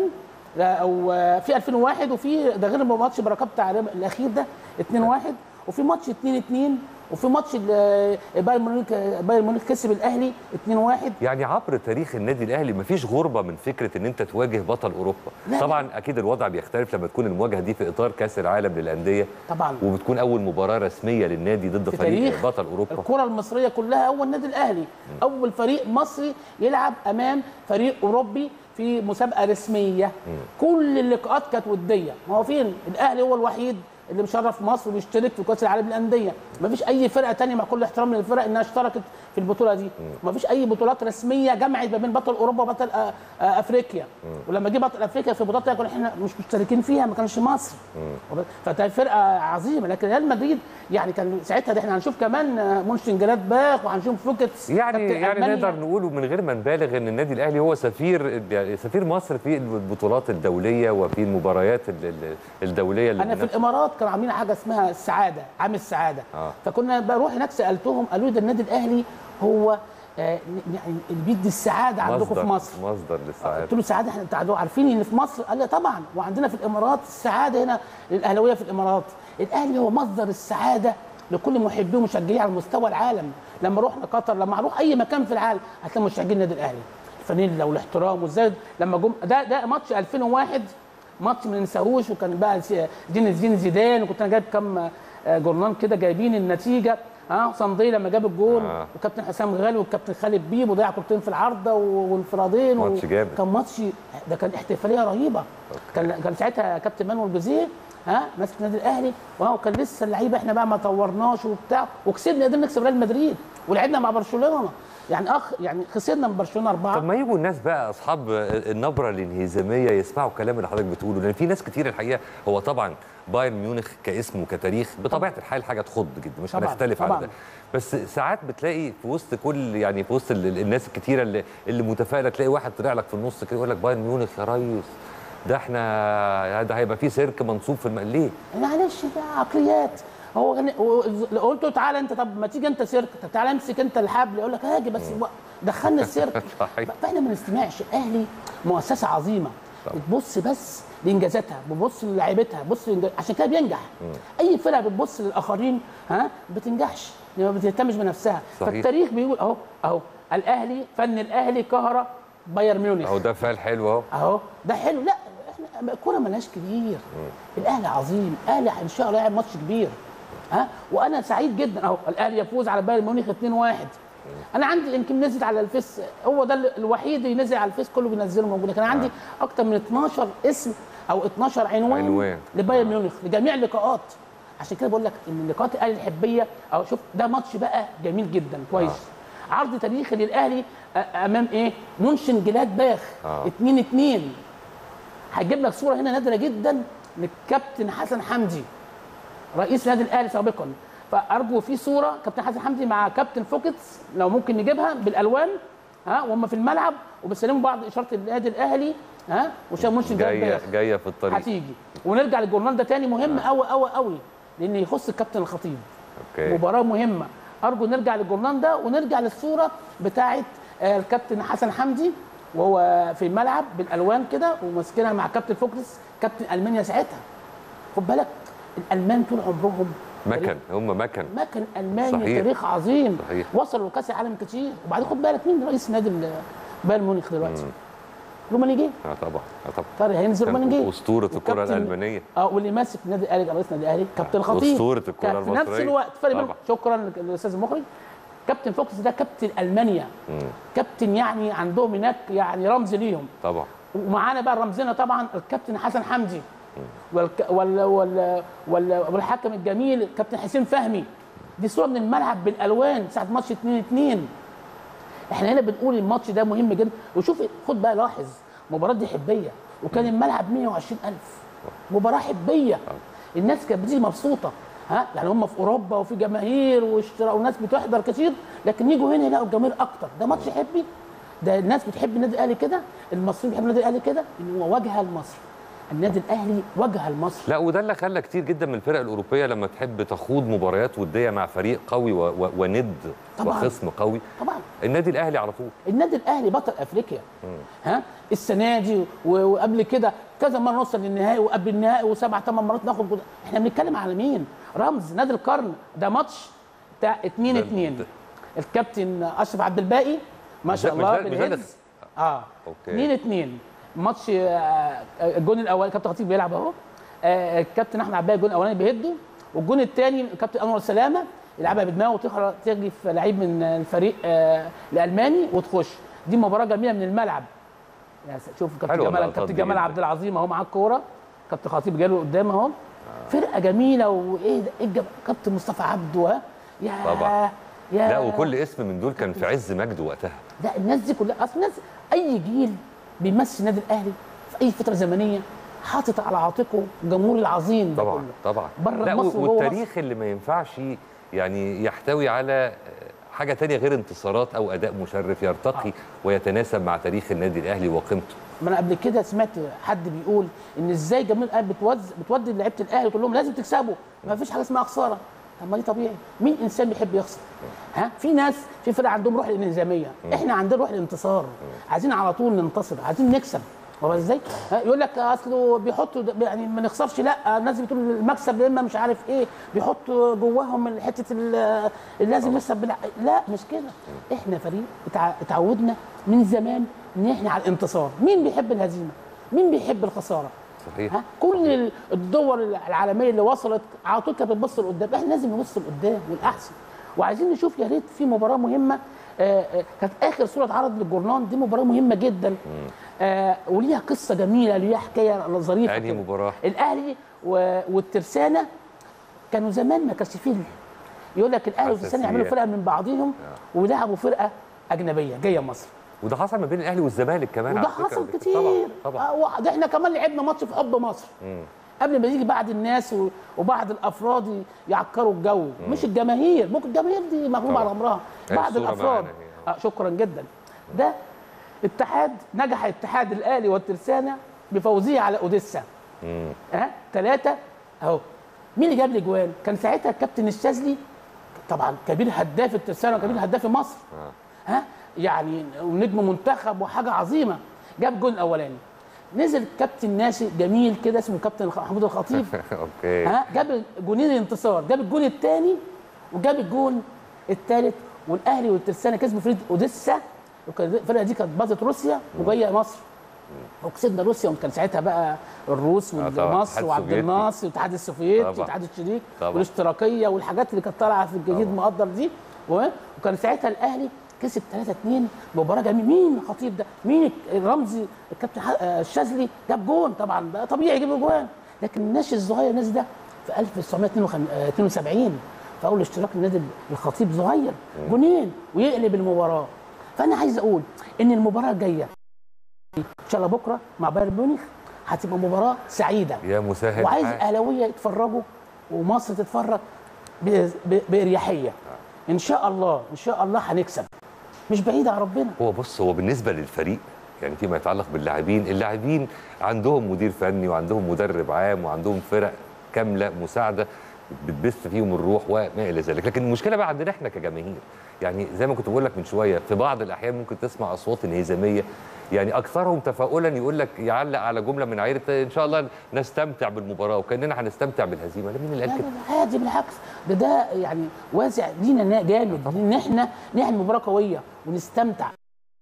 نستمتع قبل نص النتيجة. بيبقى راضي عن نفسه بينزل يأدي ويلعب. وعامل إنه بيلعب باسم مصر قبل ما بيلعب باسم النادي الأهلي. هو بيلعب باسم نادي مصر. طبعا. والنادي الأهلي هو واجهة مصر دلوقتي. على مدار 50 سنة و100 سنة نادي القرن ها في أفريقيا. النادي اللي كل أوروبا بتحترمه. النادي اللي كل الدول العربية بتقيمه. وبتقول له تعالى عندنا ولقاءات كبيرة في الدول العربية. ياما الأهلي راح دول عربية وشرف من الكره المصريه كانوا يحتفوا بيه. النادي الأهلي هو واجهة الكرة المصرية. فلازم اللعيبة تحط في دماغها إنها قبل ما تفكر في نادي استمتعت هتدي المباراه إحنا عايزينها بالنسبة بقى للجماهير عندنا أو مكان تاني أو ناس بره النادي الأهلي ده شيء طبيعي. الله ده إحنا لما نكون داخلين بكيس فاكهة في البيت عادي. الله ده جايب تفاح. مش عارف بقى النادي الأهلي العالم كله بيتكلم. ها؟ إحنا بنلعب في دوله رمضانيه إحنا بنلعب في كأس عالم الانديه فالأهلي واجه رهيب أنت في, في ما بين الجمل يا أستاذ محمد دايما. لا لا بتكلم في الاصول والتاريخ إحنا ليه بنتكلم؟ بنتكلم التاريخ عمرنا ما أنا ما أقدرش اقف في القعدة دي أو اقعد القعدة دي وبتكلم آه، من بقي. كده كلام مرسل. لا التاريخ. بس هو في وضع زي اللي إحنا فيه مش العادي والمفروض تكون مصر بالكامل في ظهر النادي الأهلي بغض النظر عن الانتماءات. وإحنا شايفين غير كده؟ إحنا شايفين غير كده؟ لازم. ها؟ المية والنيل جنبنا أهو. إيه اللي فوق الوش اللي ظاهر. لكن الأساس من تحت جميل وحلو. وطبيعه نرجع وجمال. ونقول ال social media برضو. ساعات بيبقى لها انعكاسات سلبية جدا بدل ما بتوحد ساعات بتفرق أكيد بس إحنا برضو نقول إحنا لو قعدنا نستمع نستمع مش هن- يبقى الأهلي ما كانش وصل أفريقيا ما كانش خد أفريقيا ما كانش خد الدوري ما كانش خد الكاس ما كانش عمل 100 سنة إنجازات ما كانش. خد نادي القرن صحيح. لو قعد يستمع من 100 سنة لكل الناس اللي حاولوا يوقعوه أي إنسان ناجح في أي مجال ها البعيد والقريب حتى أقرب ما ليه يحاول وممكن يبقى واقف جنبه ولا إحنا بنشجعك وهو بيحقد عليه ها؟ وممكن بيحقد عليهم بعيد عنه. طبعا. فلازم نقول إن إحنا نبعد عن ده إحنا نركز عندنا هدف. هدف إسعاد جماهير مصر قبل جماهير النادي الأهلي. جماهير مصر وجماهير النادي الأهلي وجماهير العرب كل العالم بيتفرج علينا صحيح. بيحترمنا. أداء مشرف احترام أدب. قياده مشرفة. إزاي في عيد الميلاد كابتن محمد شريف إحنا بنتفرج عليه؟ على الميديا إزاي الحب والاحترام؟ صحيح. نشوف بقى ده بيديله إيه؟ ده بيعمل له إيه؟ ده بيضحك في وشه؟ لا ده بيعمل كده. نشوف التفاحة إيه العيب فيه؟ ده, ده أحمر الخدين. يا نهار أبيض في تفاح أحمر الخدين. إحنا عايزينه ده, مخضر ده حتى ما يصح. عايزين عايزين مصفر. عايزين أصفراوي. عايزين أحمر اخضراوي طب أنا عايز أسأل حضرتك طبعا أنت عندك أنا عارف إن أنت عندك كمان يعني في المكاتب عندك الخاصة بيك وفي البيت عندك كنوز. أرشيفية من الجرايد المصرية والعربية وكتير قوي من المانشيتات اللي بتتكلم عن قوة وتاريخ وأمجاد النادي الأهلي. دي في الأول وفي الآخر هي صحف عربية. جات لحضرتك قبل كده فرصة الاطلاع على صحف أجنبية وقريت المانشيتات بتاعتهم اللي بتتكلم عن النادي الأهلي وخصوصا في المراحل الزمنية دي اللي إحنا بنشوف منها لقطات حية كده من بعض ال- المباريات الزمن الجميل ده. واشنطن بوست والجرايد الإنجليزية زمان أنا عندي بجمع كده في الجرايد والمجلات والكتب والصحف الجغرافية عندي حوالي 100 سنة جرايد إنجليزي وفرنساوي كانت بتصدر في مصر. حتى كان في مجلة اسمها إيماج بالفرنساوي بتصدر في مصر. Okay. كان زمان في نوع جاليات كتيره في مصر زي ما اتكلمنا قبل كده. آه طبعاً، آه طبعاً،. وقلنا كل جالية ليها وضع وليها صحيح. مجموعة بيجمعوا. ففي الجرايد زمان تشوف بقى تغطية غريبة تستغرب. إن الانجليز والفرنسا كانوا بيعملوا تغطية أكتر من التغطية الجرايد المصرية. إزاي؟ كان بيلزموا صور خاصين وصور على أحدث صور. وإزاي تشوف؟ إزاي بيجيبوا النادي الأهلي؟ ها؟ وهو بيلعب مع الفرقة. الفرقة جاية من فرنسا. من إنجلترا. طبعا كثير من ألمانيا. ها؟ يجوا يلعبوا مصر. الجرايد الأجنبية والمراسلين الأجانب في مصر كانوا يعملوا أكبر تغطية للمباراة دي. لأنها كانت بتوصل لبلدهم وهنا طبعا شوف شوف الشيء الجميل والتصوير غير عادي. وإزاي بي- بيعملوا بيفردوا صفحة كاملة عن الماتش. إحنا كنا ممكن نجيب حتة صغيرة كده. مربع صغير الأهلي يكسب آه ضرب كوينتي ها؟ الأهلي يكسب آه باي- بايرن ميونخ الأهلي يكسب حاجات صغيرة.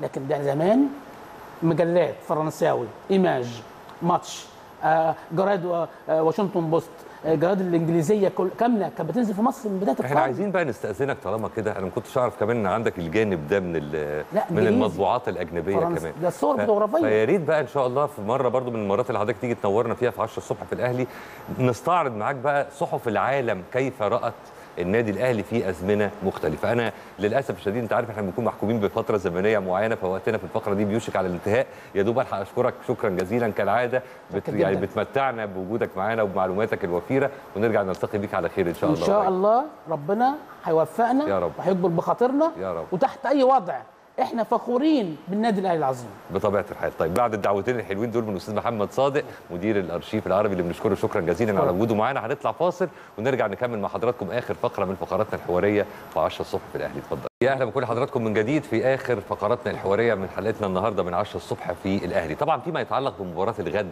المباراة المرتقبة المنتظرة بين الأهلي وبايرن ميونخ اللي من حضراتكم حابب يسعد ويستمتع ويستمع إلى وجهة نظر محترمة وكلام موزون يركز معانا في فقرتنا دي اللي هيشرفنا من خلالها زميلنا وصديقنا وأخونا العزيز خالد الاتربي الناقد الرياضي ورئيس القسم الرياضي بجريدة الشروق. يا صباح الفل عليك يا خالد. يا صباح الفل عليك يا كريم ومنورين دايما. ده نور وجودك معانا. تسلم طبعا ما ينفعش نتكلم عن مباراة بكرة من غير ما نتكلم عن المدخل اللي دخلنا من خلاله ووصلنا من خلاله إلى مباراة الغد مباراة الدحيل. كيف- كيف رأيت هذه المباراة؟ وكيف رأيت التفوق الملحوظ هجوميا في الشوط الأول والتراجع الملحوظ نسبيا في الشوط الثاني؟ طب بداية خلينا آه، يعني اسمح لي أعلق في في كلمتين كده على التقرير ده. اتفضل. آه الأهلي آه، محظوظ بجماهيره وجماهيره محظوظة بالأهلي. فعلا. لما آه، تخيل فريق بيخلي جماهيره عايشة حلم حقيقي بقى. آه طبعا. مش حاجة أنت بتتخيلها. إحنا إحنا أقصى في أندية كتير جدا على مستوى العالم. خلاص دلوقتي بتتكلم مستوى العالم. لما بتتكلم في سادس مرة بتشارك في مونديال الأندية أنت دايما التارجت بتاعك إنك المقارنة بتاعتك بتبقى على مستوى العالم على مستوى الإقليم. طبعا مش تقليلا من المستوى المحلي إنما أنت بتتكلم في القيمة أو في المكان اللي أنت موجود فيه.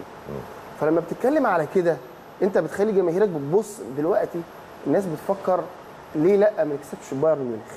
ليه لأ ما ناخدش كأس العالم للأندية آه، كأس العالم للأندية؟ طبعا في ناس هتقول لك أنت آه أنت رايح فين؟ ده بايرن ميونخ. Okay ماشي بس ده الاهلي تمام؟ هي برضو هي نفس الفكرة. آه طموحك لازم يكون هنا بقى كلمة الطموح في مكانها الصحيح. طموح جماهير الأهلي رايحة ناحية العالميه بالظبط كده. أنا مش عايز أطلع عن على رأيك السؤال. إحنا إحنا فعلا فيها بالفعل. بالظبط. والحلم اللي أنت بتتكلم عليه إحنا مش بصدده ده إحنا في نص مشواره. بالظبط. أنا بقى مش عايز أطلع عن السؤال عشان نرجع لكلامنا ده, تاني. نتكلم على ماتش الدحيل لأنه في آه، مدخل كتير أو مداخل كتيرة لمباراة بايرن ميونخ. الشوط الأول كان كان عامل إزاي والشوط الثاني كان عامل إزاي وليه؟ الشوط الأول كان آه، سيطرة كاملة للنادي الأهلي وأنا شايف في الجزئية دي نقطة مهمة جدا وهو خوف زايد كبير جدا من الدحيل لأنه لو بصيت على المعطيات اللي قبل المباراة هتلاقي إنه من حقه شوية يخاف. بغض النظر عن اللي إحنا كنا بنثيره هنا اعلاميا ده عندهم معرفش لاعب ب 16 مليون. ده عندهم محترف برازيلي ده عندهم آه، الكيني ده عندهم ده عندهم. في النهاية كل دول فين؟ مع احترامنا كامل في الدحيل وانت بتلاعب النادي الأهلي الدحيل بيقابلك وهو بطل الدوري القطري. انت بتقابله وانت بطل بطل أفريقيا. أفريقيا. طبعا. وبالتالي هو كان خايف جدا منك. ده سبب رئيسي هو كان خايف من اسم الأهلي. ودي نقطة مهمة جدا. وده ياخدنا لنقطة مهمة دلوقتي للمستقبل. إن أنت ما ينفعش تعامل بايرن ميونخ زي ما الدحيل تعامل معاك. دي جزئية مهمة جدا. طبعا. الخوف هو الخوف آه، هو اللي قاد الدحيل إنه ما يحاولش أصلا يطلع من نص ملعبه علشان يهاجمك. في الشوط الأول. تمام. الشوط الثاني بدأ يستدرك شوية إن هو خلاص أنا هخرج من البطولة وكده كده واحد زي اتنين. فبدأ إن هو يجاريك في الموضوع ويدخل معاك في الجيم. مع إنك ضاع منك يعني هدف ممكن ال- ال- ال- الكورة بتاعت والتر بولا في الشوط الأول. مع بعض الفنيات بعض التغييرات اللي كانت ممكن آه، يكون فيها كلام دخل الدحيل في الجيم. إنما اللي إحنا عايزين نستفيد منه هنا إنك تقابل بايرن ميونخ بايرن ميونخ بالقوة اللي المفروض تقابله بيها. مش إنك بتقابل اسم آه، كبير بعبع أوروبا فأنت تكون داخل المباراة بالشكل ده. وأنا عجبني جدا التصريح اللي اتقال من شوية من بيتسو موسيماني ومن الكابتن محمد الشناوي اللي هو لما قال إن إحنا آه، موسيماني لسه من شوية قايل إن إحنا آه، هنلعب مباراة قوية. ومعلوماتي أنا إن موسيماني بيدرب لعيبته وبيدرب الفرقة مش إن هي تعمل ماتش كويس إن هي تتخطى بايرن ميونخ. أصل هما اليومين ثلاثة اللي فاتوا تم تأويل بعض كلمات بيتسو موسيماني فيما يتعلق بالجمله اللي قالها إن إحنا عايزين نستمتع بالمباراة. ما هو أي حاجة طبعا طبعا على فكرة بايرن عايز يستمتع بالمباراة والأهلي عايز يستمتع بالمباراة. وأي لاعب كورة حقيقي في المباريات اللي زي كده بيستناها عشان يستمتع بيها. إنما في النهاية النادي الأهلي متعته الحقيقية هو الفوز. صحيح. هي دي المتعة الحقيقية. والحاجة فلو- للجماهير هو لما يقول لك أنا هستمتع بالمباراة أكيد مفيش حد هيستمتع بالمباراة وهو خسران. هي دي الجزئية المهمة اللي إحنا لازم نتكلم وعلى فيها. حسب بقى نية المتلقي. هو معروف أصلا عن موسيماني إن هو بيحب ينيم اللي قدامه. أيوة. لا هو يعني بيخ- بيخدر اللي قدامه.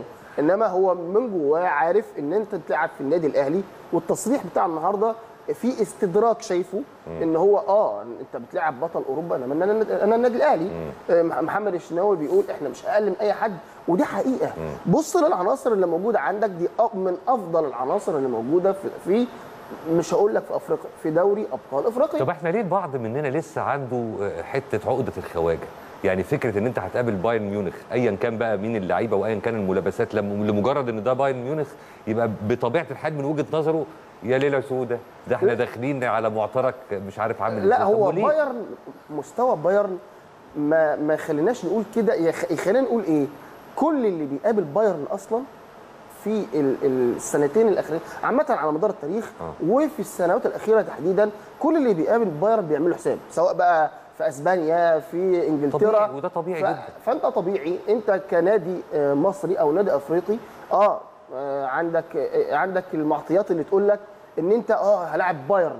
بس في النهاية برضو هم هم 11 لاعب وأنا 11 لاعب.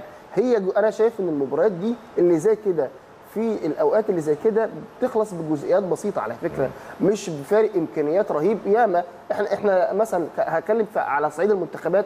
وبعد كده أدخل في مستوى الأن- الأندية. مين كان يصدق إن إحنا نعمل المباراه التاريخيه اللي عملناها قدام البرازيل؟ 4 3 آه طبعاً، مثلا. آه طبعاً، وكان. آه، وصلت بالمعلق آه، عصام الشوالي اللي يقول مصر هي اللي لابسة البرازيل هي اللي لابسة الأصفر. وبالتالي مفيش الكرة ما بتعترفش بالكلام ده. ليه ما نقولش إن في معطيات كتير ممكن أنت تستغلها زي الإرهاق الكبير اللي, اللي مر بيه بايرن ميونخ خلال ال- اليومين اللي فاتوا ليه لسه ما وال- لسه ما تأقلمش على الأجواء هيتمرن تمرينة واحدة في في الدولة المستضيفة. حاجات كتير جدا تخليك تقول لا والله في في إمكانية إن أنا أعمل. خاصة بقى سيبك من الجزئية بتاعه بايرن وهم تعبانين أو مش تعبانين مش هي دي الجزئية. لا لعبتي أنا. أنا النادي الأهلي. ما ناخدها كده جزئية جزئية وخط خط. إيه المانع إن أنا أكون كويس؟ أنا عندي واحد من أفضل حراس المرمى في أفريقيا ويمكن من العالم. حراس المرمى المميزين. لو جيت تعدهم على مستوى العالم هتلاقيهم ومنهم الشناوي. دي مش مبالغة. أنا واحد في قارة أفريقيا هات لي واحد أعلى من محمد الشناوي على مستوى الفرق الأفريقية كلها مفيش. عنده ثقة عنده خبرة عنده تجربة واحد واخد man of the match في آه، في مونديال كاس في مونديال آه، اللي فات مونديال روسيا. انت بتتكلم في واحد بتتكلم في واحد زي علي معلول من أفضل باكات الشمال في مستوى على مستوى أفريقيا. بتتكلم على بدر بنون بتتكلم على عمرو السولية اليو ديانج كلهم لعيبة على مستوى عالي جدا ومستوى عالي من جدا من الجودة والثقة. يخليك تقول لا أنا هعمل ماتش كويس هعمل ماتش ربما يكون تاريخي. طب في معطيات الماتش الكويس ده يعني هل حاسس إن أنت في أمور معينة ممكن تتفاجئ بيها بكرة من موسيماني قبل ما تتفاجئ بيها من اللعيبة؟ آه. زي؟ وارد جدا إن هو آه آه، إحنا كنا بنتكلم وهن- وهنربط برضو تاني بين تقدير الدحيل ليك وتقديرك أنت لبايرن بايرن ميونخ. ميونخ. أنا مش عايز النادي الأهلي يستغرق وقت طويل في تقدير الفريق المنافس. بمعنى آه طبيعي إنك هتستنى 10 دقائق ربع ساعة ما تشوف الدنيا رايحة فين. الناس دي نازلة ب... هتعمل إيه؟ يعني ضاغط ضاغط. طبعا طبيعي ان بايرن هيكون نازل ضاغط الملعب وعايز يتسيد اللقاء. طبيعي مش عشان بيلعب الأهلي هو بايرن كده.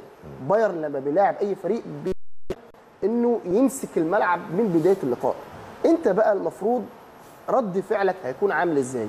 أنا أعتقد إنه عشان كده ممكن يغير في طريقة اللعب ويخلي مثلا يلعب بثلاثة defender ممكن اليو ديانج وعمرو آه، السوليه وحمدي فتحي وارد جدا.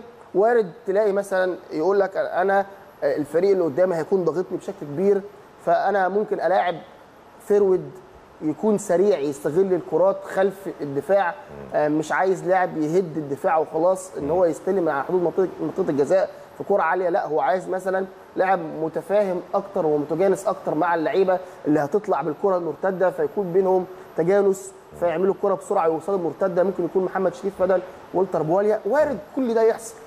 وارد إن كل ده يحصل. طب إيه إيه إيه من الأمور اللي كانت بتحصل أو مش هقول لك اتعودنا نشوفها بس أحيانا بنشهدها في مباريات مثلا على سبيل المثال يعني ممكن يبقى في جمل خططية أو تكتيكية الجملة من أولها طالعة حلو بس ساعات تلاقي مثلا في drop في ال finishing ففي أمور معينة إيه منها اللي اللي أنت تشوفه يعني في مباراة بكرة إن شاء الله؟ إنهاء الهجمة.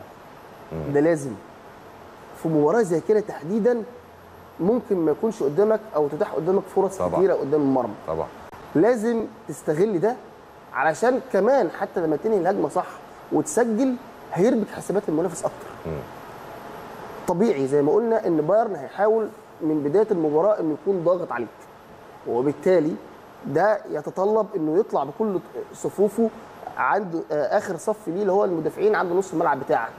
فطبيعي أنت لما تسجل هيضغطك أكتر وده. يغلطه أكتر.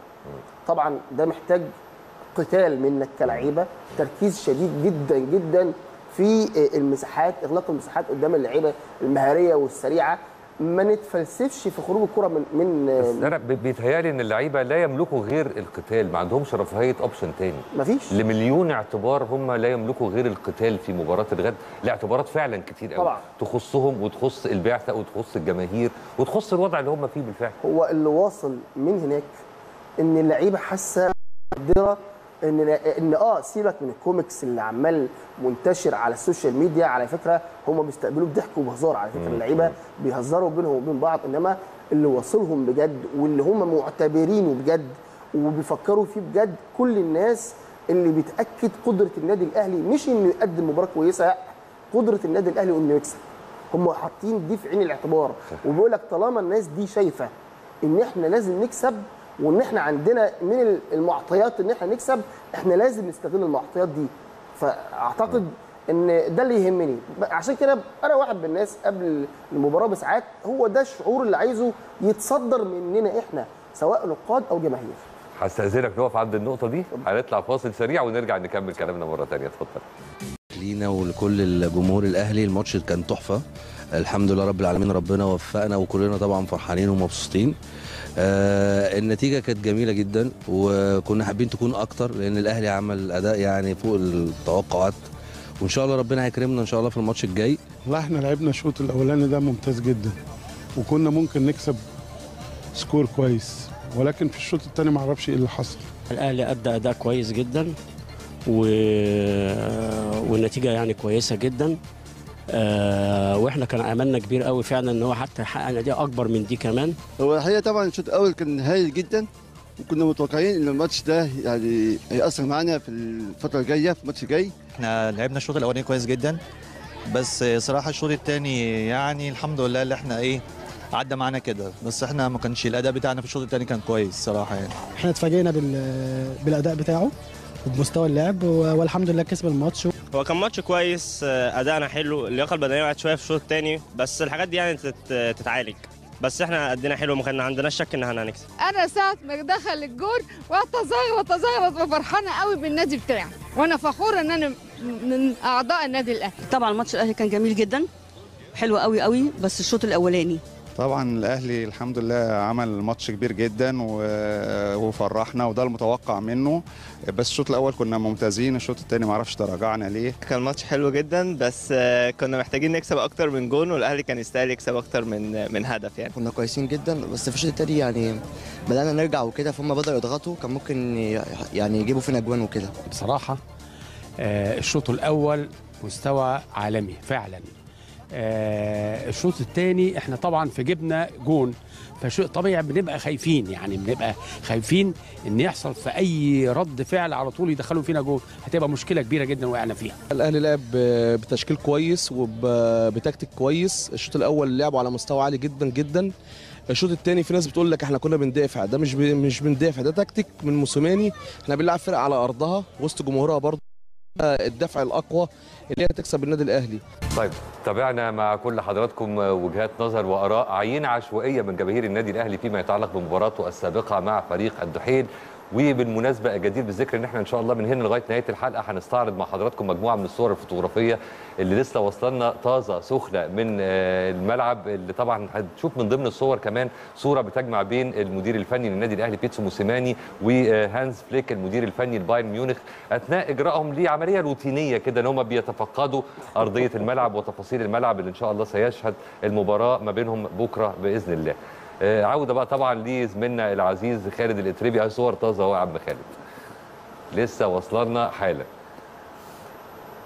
طيب ده بقى بياخدنا خالد لمره تانية لمباراة الغد بطبيعة الحال. و آه، ناس كتير آه، برضو قاعدة برغم الطمأنينة اللي موجودة نتيجة العناصر والعوامل اللي إحنا اتكلمنا فيها. لكن برضو الأمر لا يخلو من إن ربنا يسلم ربنا يستر. طبعا. بس في الأول عايز أقول لك آه، الحساب الرسمي لبايرن ميونخ آه. بينقل تصريحات آه، محمد الشناوي بينقل تصريحات بيتسو موسيماني على آه، صحفي. أنا عايز بس أشوف يعني الناس ده تشوف. برضو أخيرا ده حصل ده مؤخرا. آه حالا. لسه أنا. بس عايز أشوف الناس يعني الأهلي وصل آه، وصل فين؟ أو وصل مرحلة إيه؟ لما بنتكلم على ال- الكلام اللي منقول على آه، الحساب الرسمي آه، لبايرن ميونخ يعني بيتكلم على آه، محمد الشناوي بيقول نحن جاهزون ونطلع لمواجهة بايرن نركز فقط على المباراة ونريد إسعاد جماهيرنا طبيعي إن الشناوي لما طبعا. يتكلم عن إسعاد جماهيرنا. أكيد بيتكلم عن الفوز أكيد. لما بتلاقي موسيماني بيتكلم بيقول لك آه المباراة صعبة وهتكون مباراة ممتعة إنما إحنا قادرين على عبورها فلما تلاقي المدير الفني وكابتن الفريق بيتكلموا على إن أنت ال target بتاعك إن أنت تعدي من المباراه وإن أنت تكسب فده طموح طبيعي لكل الجماهير الأهلاوية إن هم يفكروا إن إحنا نكسب بايرن ميونخ. ده مش مش شيء مستحيل على فكرة. ما يعني كلمة المستحيل مش أهلاوي اتخلقت إزاي؟ أو طلعت إزاي؟ أكيد من ال- ال- المواقف اللي زي كده. إحنا مش عايزين الناس تقول لك أنت بت- بتعلي آه، سقف الطموح آه، عند جماهير النادي الأهلي. ما هو أصلا جماهير النادي الأهلي طموحها ملوش سقف. اللي خلى النادي الأهلي في المكانة دي وفي المرتبة دي إن النادي الأهلي وجماهيره طموحهم أو عندهم تطلعات ما بتقفش عند أي حد. لا وكلها قابلة للت... للت... يعني إن هي تحصل فعلا قابلة- لها تحقيق ما- يعني. ما هو اللي خلاك تعمل ده إن النادي الأهلي في مباريات صعبة وأصعب ومواقف أصعب أنت كنت بتعدي منها وكان في ناس كتير جدا بتراهن إنك مش هتكون موجود في المكان ده وبتبقى موجود وبتعدي وأنت اللي بتقف تتفرج على كل الناس دي اللي كانت كلها عايزه تتفرج عليك انت اللي بتبقى واقف على القمه وبتبص على كل الناس دي بتبقى فرحان ومبسوط بالمناسبه مش شمتان لأن هو ده طبيعتك. طول عمرك انت واقف في المكان ده وبتبص على الناس اللي بتحاول تعطلك. انت بتبص وبتحاول تخلي الناس دي هي الوقود اللي بيخليك تتحرك لقدام. عشان كده انت في المكانه دي. ده مش شعارات. بص النهارده النادي الاهلي فين؟ بص النهارده اللي بينقل عنك تصريحات كل وسائل الإعلام العالمية بتنقل تصريحات لعيبتك بتنقل تصريحات المدير الفني بتاعك. ده من إيه؟ أكيد مش بالكلام أكيد بالشغل أكيد مش بالحكام أكيد مش بالمؤامرات الكونية أكيد بشغل وعرق وجهد وتعب وتنظيم وتخطيط وجماهير كل ده. وطموح حقيقي. فيعني ده اللي بيخليك في المكانة دي.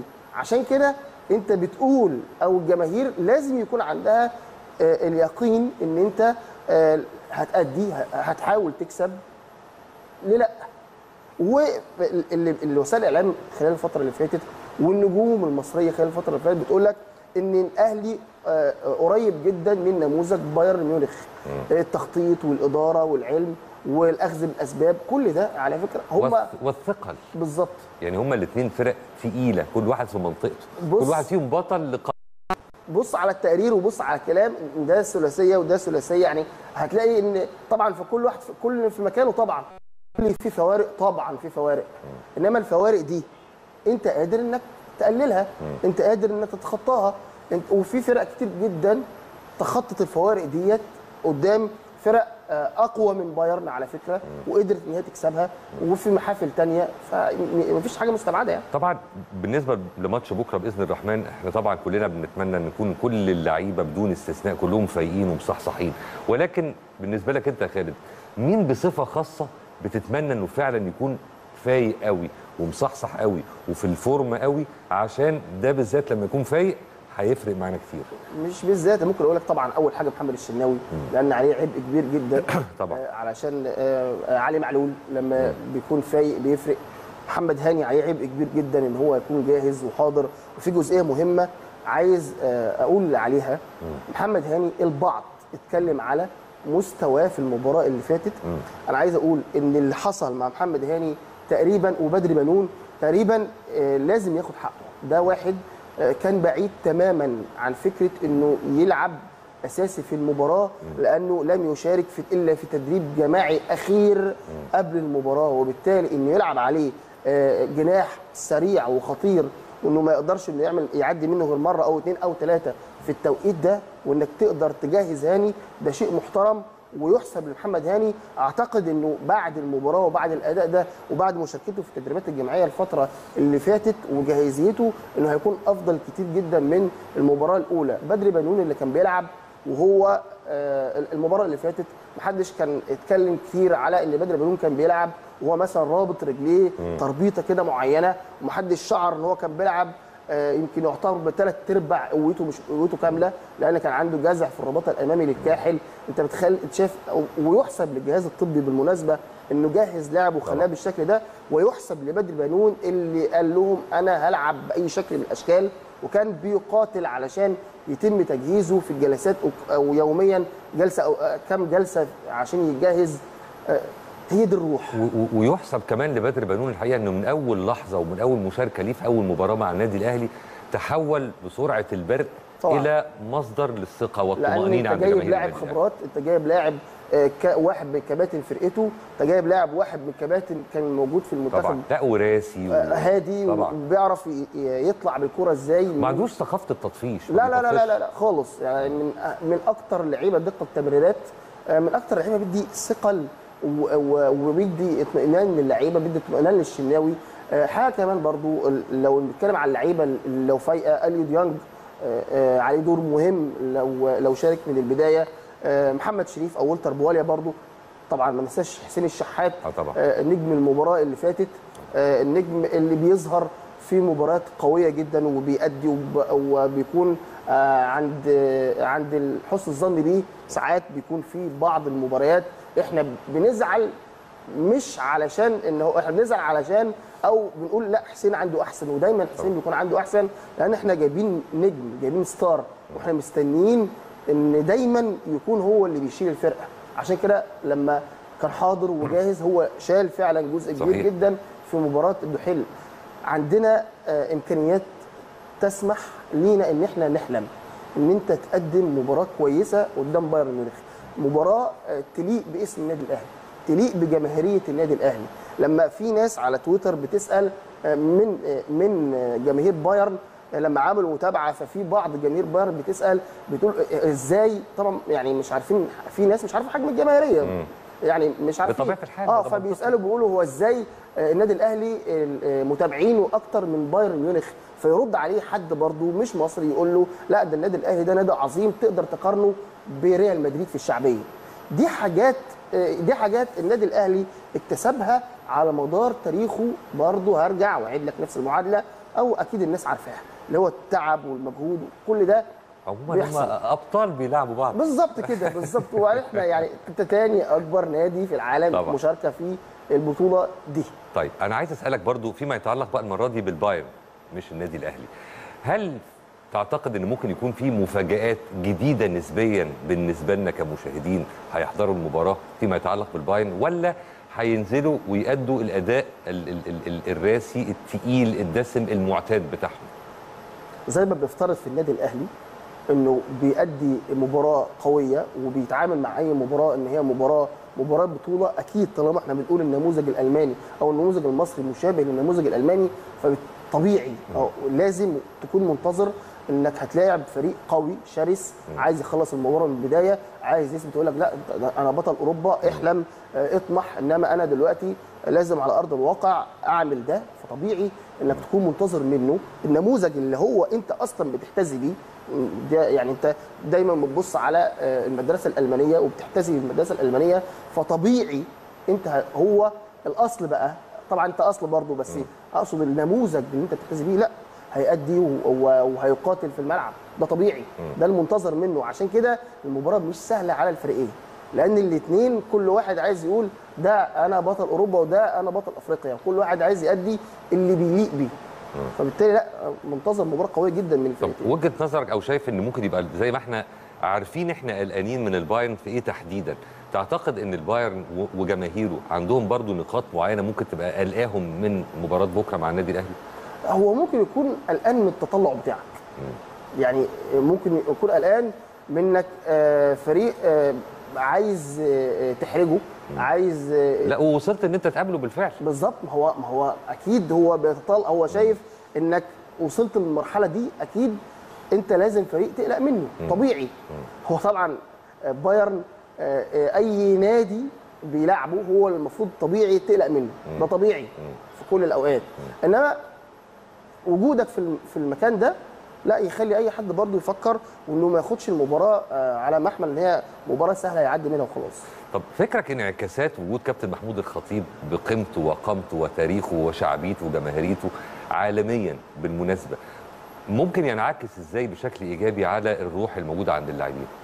طبعا وجود الكابتن محمود الخطيب في كل أنا أنا آه، رافقت بعثة الأهلي في يعني يمكن 2009 بسافر معاهم آه، حضرت مع الاهلي آه، حوالي أربع أو خمس سفريات الكابتن محمود الخطيب هو اللي كان بيبقى آه، رئيس البعثة. كنت موجود في مونديال آه، اليابان مم. 2012 يعني عاصرت ال- الموضوع ده. لا وجود الكابتن محمود الخطيب فارق وبيفرق بشكل كبير جدا.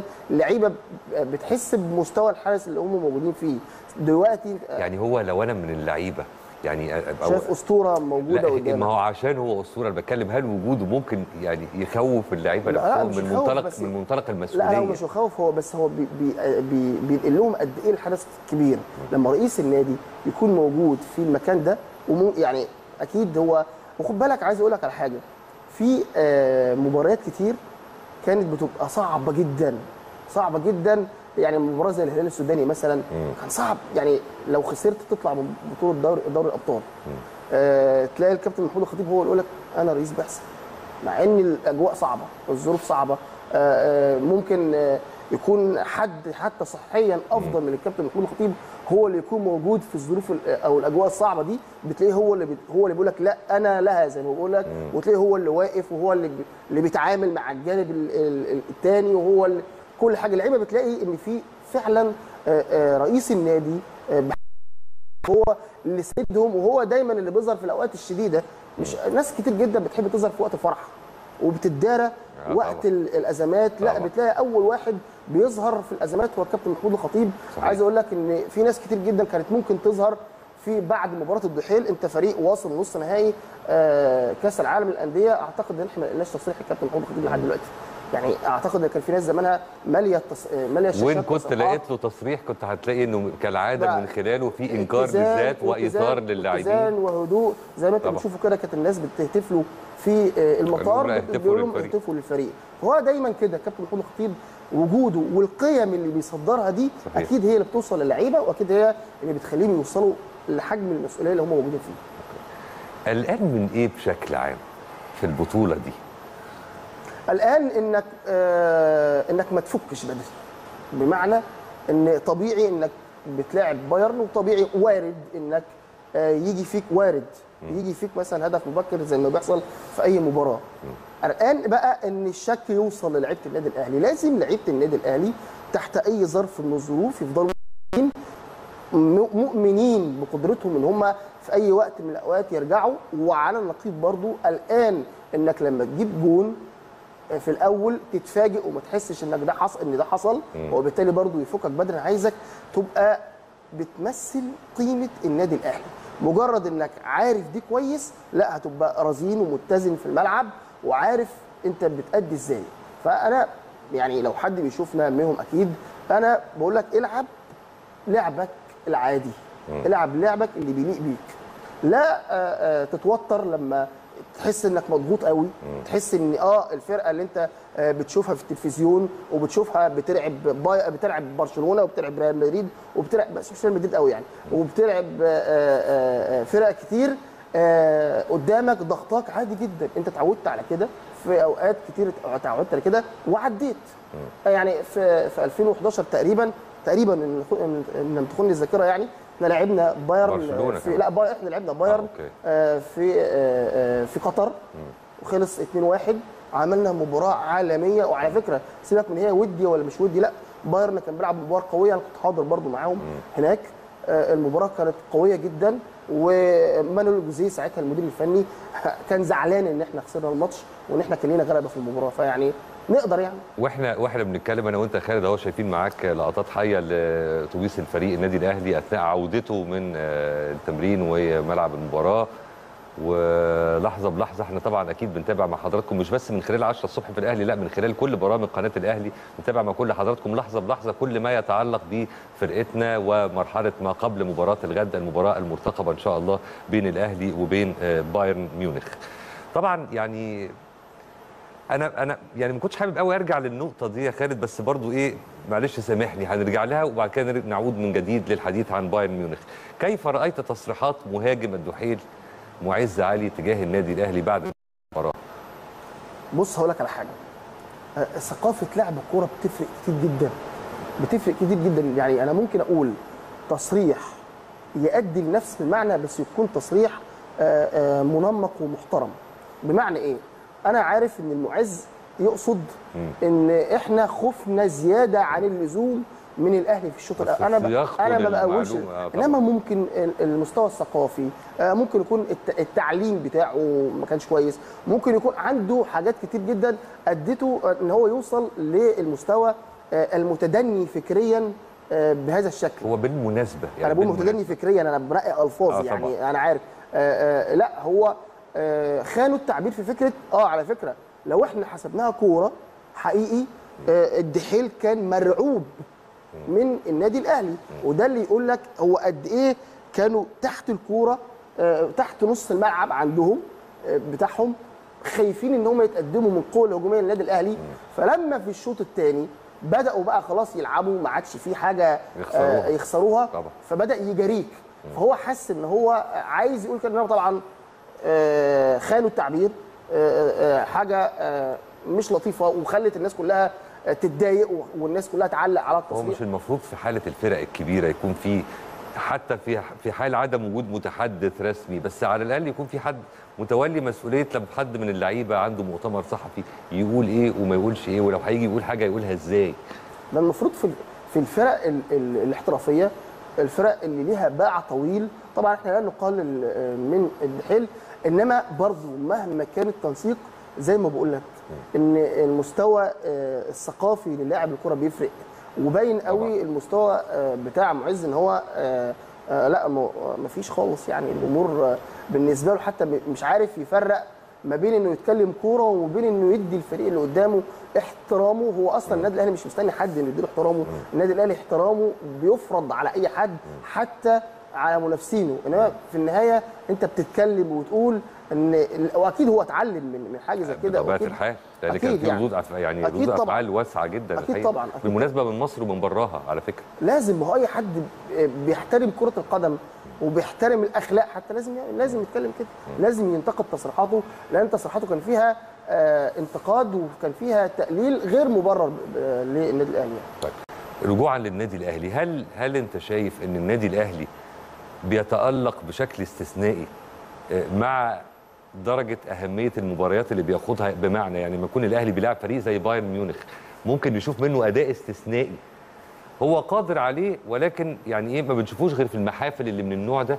يعني بالبلدي كده هل الأهلي في الدوري وفي الكاس المصري وضع وفي البطولات ال- ال- العالمية وضع تاني اخذا في الاعتبار بأن هم نفس اللعيبة ونفس الجهاز الفني ولا الدنيا بتمشي إزاي؟ يعني مش للدرجة يعني بس هو طبعا آه، في لعيبة آه، بتحس إن هو يقول لك أنا بلعب على قد الماتش. يعني حتى آه، وده لما بيكون حتى بيستناه آه، مباراة بعديها قوية فيقول لك أنا ألعب لعب استهلاكي إن هو هيكسبني وخلاص آه. علشان أفكر في الماتش اللي بعديه. إنما طبعا لما بتحس آه، أي حد آه، ما بيحس إن في الملاعب اللي موجودة زي كده في التصوير اللي بالشكل ده بطولة عالمية العالم كله بيتفرج عليها. آه، في ناس لو آه، عندها الإمكانيات 50% في المباريات اللي زي كده تبقى 100% آه طبعا. ده طبيعي آه، آه، حتى آه، آه، كابتن عماد متعب ولاعيبة اتكلمت على فكرة أنت لا الشعور مختلف. شعور آه، بطولة بينظمها الفيفا. آه، آه، كل الحاجات اللي حواليك بتقول لك لا في في أجواء مختلفة طبعا مش هن مسابقة محلية. فطبيعي إنك تنتظر تنتظر أداء غير وخاصة بقى لك قدام فريق عالمي زي البايرن لا هيبقى غير وأتمنى إن يظهر ده من من بايرن إن شاء الله. ربنا يصلح الحال. طيب إحنا هنستأذنك هنطلع برضه فاصل سريع ونرجع مرة ثانية نكمل كلامنا. اتفضل. يا أهلا بكل حضراتكم من جديد. قبل ما نروح ونكمل كلامنا مع زميلنا العزيز خالد الاتربي هنروح لزميلنا العزيز ومفادنا إلى كأس العالم للأندية الزميل أمير هشام عشان نعرف منه بقى الكواليس هناك عاملة إزاي. يا أمير صباح الفل عليك. صباح الفل عليك يا كريم. تحياتي ليك وتحياتي لكل مشاهدي ومتابعي قناة الأهلي في كل مكان. وتحياتي لصديقي العزيز خالد الاتربي. أنا وصديقك العزيز خالد. الاتربي ومعانا أم لا إله إلا الله عايزينك تطمنا على الأجواء والكواليس عندك عاملة إزاي؟ وطبعا الكلام لازم يشمل ال- ال- الحالة النفسية والمعنوية. وبرضه لو هتحب تتطرق معانا كده لل- للقاء والصورة اللي إحنا شفناها من دقائق آه، ماضية لقاء آه، بيتسو موسيماني وهانس فليك المدير الفني لبايرن ميونخ. اتفضل يا أمير. بالظبط. يعني خليني أقول لك إن الأجواء أكثر من رائعة في الحقيقة هنا في المونديال وقبل يعني 24 ساعة تحديدا من مباراة الأهلي وبايرن هذه المباراة المرتقبة اللي بينتظرها الملايين والملايين من متابعي الكرة العالمية وبالتحديد الأهلاوية في كل مكان مباراة على المستوى الرسمي مع فريق أوروبي. حاجة كانت منتظرة وحاجة ما حصلتش تقريبا قبل كده إن فريق مصري لاعب فريق أوروبي في بطولة عالمية وبطولة معتمدة من الاتحاد الدولي لكرة القدم. فهو في حد ذاته ده حدث مهم جدا بالنسبة لنا كلنا. بنعيش أجواء أكثر من رائعة هنا في ال- في المونديال. لكن في كل الأحوال إن شاء الله الأهلي يكون موفق في هذه المباراة. الأهلي فريق كبير وتاريخ عظيم بكل تأكيد واسمه آه، يكفي. لكن عندنا كمان لعيبة رجالة بإذن الله يقدروا آه، يعني يسعدوا جماهير النادي الأهلي من خلال مواجهة تكون قوية وأداء يكون آه، مميز بإذن الله في هذه المباراة. لكن خليني أقول لك كل الأجواء اللي بتتعلق برحلة النادي الأهلي هنا تحديدا وقبل مباراة ال- البايرن. النهارده البرنامج كان مليء آه، وجدول النادي الأهلي كان آه، مزدحم آه، بخصوص بعض ال- المواعيد الهامة بالتحديد منذ بداية هذا اليوم كان في الاجتماع الفني الخاص بالمباراة واللي خلاص تم الاستقرار عليه بشكل رسمي على كل الجوانب تتعلق بمباراة ال- الغد. كان اجتماع فني ما بين مسؤولي الأهلي ومسؤولي البايرن ومسؤولي الاتحاد الدولي. تم الاستقرار الاهلي خلاص بشكل رسمي هيلبس الزي الأحمر الشورت هيكون أو التيشيرت أحمر الشورت هيكون أسود والشراب هيكون آه، أحمر. في المقابل آه، فريق البايرن هيلبس أبيض في ابيض آه، في ابيض. المباراة تعتبر هي مباراة النادي الأهلي هو الفريق A في هذه ال- المباراة. محمد الشناوي هيلبس الزي الأصفر بالكامل. تم الاتفاق كمان على وصول النادي الأهلي لملعب المباراة بالتحديد قبل انطلاق المباراة بساعة ونصف. تم تحديد الأماكن الخاصة بالجهاز الفني وباللاعبين وأيضا ببعثة النادي الأهلي اللي هتحضر آه، هذه المباراه نفس الكلام بالنسبة لفريق آه، بايرن آه، ميونخ. خليني كمان أكلمك على آه، ما بعد الاجتماع الفني ووصول آه، أعضاء الجهاز الفني بالكامل آه، ومعاهم كمان محمد الشناوي آه، لاستاد أحمد بن علي وهو الملعب اللي هيستضيف هذه المباراة. أعتقد الصور عندك يا كريم دلوقتي أو اللقطات آه، حاجة آه، أكثر من رائعة. ملعب ممتاز جدا جدا من أفضل الملاعب آه، بالمناسبة هنا آه، في المونديال. ملعب آه، يعني حديث تم انشاؤه تقريبا من ست أو ثمان شهور بالظبط. واتلعب عليه ماتشين بس لحد دلوقتي. هيتلعب عليه النهارده ماتش كمان ما بين ال- السد وأولسان هيونداي على المركز الخامس وال- والسادس. وهيبقى عليه كمان مباراة الغد ما بين الأهلي والبايرن. انطباعات كانت أكثر من رائعة آه، على على الملعب بخصوص مستر بيتسو موسيماني اللي كان كمان عنده مؤتمر صحفي هو ومحمد الشناوي كابتن فريق النادي الأهلي وكان ليهم تصريحات في الحقيقة مميزة ومدى حجم آه، البايرن. ومدى حجم النادي الأهلي كمان لأن دي نقطة لازم نركز عليها في الحقيقة. النادي الأهلي آه، نادي آه، كبير وعريق بكل تأكيد وتاريخه يعني حافل بالألقاب والإنجازات والمباريات الرائعة آه، في كل الأحوال. انطباعات مستر موسيماني على الملعب كانت مميزة جدا. لكن خليني أقول لك إن يعني وإحنا خلاص بنمشي من الملعب كان بيحضر أو كان بيوصل هانز فليك المدير الفني طبعا للبايرن والتقط بعض الصور مع مستر بيتسو موسيماني. وكان في حديث كده ودي ما بينهم. يعني آه، كل واحد فيهم تمنى التوفيق للآخر. إن شاء الله التوفيق يكون لمستر بيتسو موسيماني والنادي الأهلي في هذه ال- المباراة. آه، كمان كان متواجد معاه آه، كيميتش أحد أبرز نجوم فريق ال- البايرن واللي كان أيضا عنده مؤتمر صحفي وكان في بعض أعضاء الجهاز الفني من فريق بايرن ميونخ.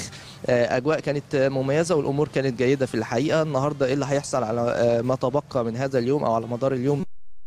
هيكون آه، طبعا في بخلاف وجبات اللاعبين والمواعيد والبرامج ال- الطبيعية بالنسبة للفريق. هيكون في محاضرة مهمة قوي مستر بيتسو موسيماني قبل ال- المران. المران بالتحديد هيكون في تمام الساعة 9 آه، مساء بتوقيت المونديال وهو نفس ميعاد المباراة غدا بإذن الله. فبالتالي آه، المحاضرة هتكون الساعة آه، 8 آه، بالظبط. مستر بيتسو موسيماني هتخلص المحاضرة يتحرك الفريق. آه، مباشرة آه، لملاعب التدريبات. الأهلي مش هيتمرن على استاد أحمد بن علي لا الأهلي هيتمرن على ملاعبه الطبيعية جدا ويخلص كل آه، تدريبه النهاردة وهيكون في بعض النقاط المهمة جدا اللي أكيد هيتكلم عنها مستر بيتسو موسيماني المران بقى هيشمل فقرات أكيد مهمة لكن مش هيكون مران بدني اطلاقا أو خلاص يعني كل اللاعبين في حالة بدنية جيدة. آه، مران هيكون في بعض التعليمات بعض التجارب التكتيكية من مستر بيتسو موسيماني. ده اللي هنتابعه وهنشوفه على مدار ال- اليوم. خليني بقى أكد لك برضو يا كريم إن الإجراءات الاحترازية متواصلة بشكل قوي جدا جدا ويعني آه، مفيش هزار في الجزئية دي. إحنا داخل في قاعة طبية طبعا هنا آه، في آه، المونديال. بنتحرك آه، بشكل محدد كبعثة بالكامل مع فريق آه، في موكب محدد لل- للكل آه، فبالتالي من ضمن يعني الأمور الهامة اللي لفت نظرنا واللي بتحصل في هذه اللحظات وهتشوف لقطات آه، ليها بعد شوية. يعني مثلا الأهلي ليه أتوبيسين هنا يعني خاصين بالجهاز الفني واللاعبين. ما ينفعش الأتوبيسات بتاعت النادي الأهلي تخرج بره عشان مثلا تزود وقود. لا الوقود هو اللي بيجي للأتوبيسات هنا عربية الوقود في الحقيقة هي اللي جت ودخلت عند اتوبيسات النادي الاهلي عشان آه، تمول اتوبيسات ال- النادي الاهلي أو تزودها بال- بالوقود. وده يعني آه، أمر مهم جدا جدا كان لازم يعني اركز عليه لأن عايز ااكد على مدى الاجراءات الاحترازية. والطبية المشددة داخل فقاعة آه، بعثة النادي ال- الأهلي. أمور آه، في الحقيقة كلها منظمة وأمور جيدة ويعني ده أبرز آه، حاجة حصلت دلوقتي وأنا بتكلم معاك يعني على الهوا كده يا كريم. لكن في كل الأحوال إن شاء الله الأهلي يكون موفق. في مباراة ال- الغد وإن شاء الله بإذن الله الأهلي يسعد جماهيره. بإذن الله تعالى. وإن شاء الله بإذن الله الأهلي يسعد جماهيره. بإذن الله تعالى. لو في استفسار أنا معاك اتفضل. ربنا يخليك. إن شاء الله يكون النصر حالفنا و- وكالعادة يا أمير أنت مش بتدينا أي فرصة لأي يعني أي مزيد من الأسئلة بسم الله ما شاء الله عليك. أنت بتغطي كل ال- النقاط. بما فيها كمان التفصيلة الأخيرة دي فعلا بتأكد إن إلى أي درجة فعلا في إجراءات احترازية صارمة وبنتمنى طبعا السلامة لفريق النادي الأهلي ولكل الفرق المشاركة. عندك أي سؤال يا خالد لزميلنا أمير قبل ما نشكره؟ لا إحنا بنتمنى التوفيق بس اللي إن شاء الله بكرة بإذن الله. و... يا رب. وإن شاء الله بإذن الله يعني أمير ينقل لنا بكرة رسالة بعد الفوز على بايرن يا رب. إن شاء الله يا رب إن شاء الله. أمير إحنا بنشكرك. شكرا جزيلا. بنتمنى لك كل التوفيق. شكرا جزيلا. نورتنا وأسعدتنا. الدنيا بتسيطر علي إحنا بنشكرك يا أمير. شكرا جزيلا. آه، فقاعة فقاعة. طبعا أي حاجة بينظمها الفيفا فيهاش أي لازم- مساحة لأي لا، ثغرات مفيش يعني. مفيش مفيش. عشان كان في ناس بتسأل حتى على آه، مين آه، راح البعثة أو مين آه، ممنوع ومين مفيش. مفيش ده نظام صارم وحازم بشكل لا يتخيله أحد. لأن آه، البطولات أصلا بتقام في ظروف استثنائية ظروف صعبة. أنت بتتكلم على آه، وباء باجتاح العالم. فقعدنا فترة آه، طويلة من الإغلاق. فمش عايز تخلي أي حاجة تبوظ لك أي بطولة تبوظ لك أي طبعا. فعالية. وبالتالي مش هيسمحوا بأي حاجة من أو أي حاجة أي خروج عن النظام. فبالتالي ده طبيعي إنه يحصل يعني. خليني أسألك آه، يعني آخر سؤال بقى لأن إحنا خلاص وقتنا بيوشك على الانتهاء يا خالد. إحنا كجماهير النادي الأهلي يعني عندنا شيء من الطمع المشروع إنجاز التعبير. وفي نفس الوقت معانا فريق ولاعيبه مساعديننا على الطمع ده. هي بعيدة قوي عننا إن إحنا نحصل على كأس العالم للأندية. يعني مستحيلة قوي إن فريق النادي الأهلي يرجع ومعاه كأس العالم للأندية. مش مستحيل ولا حاجة آه، بس زي ما تعود النادي الأهلي.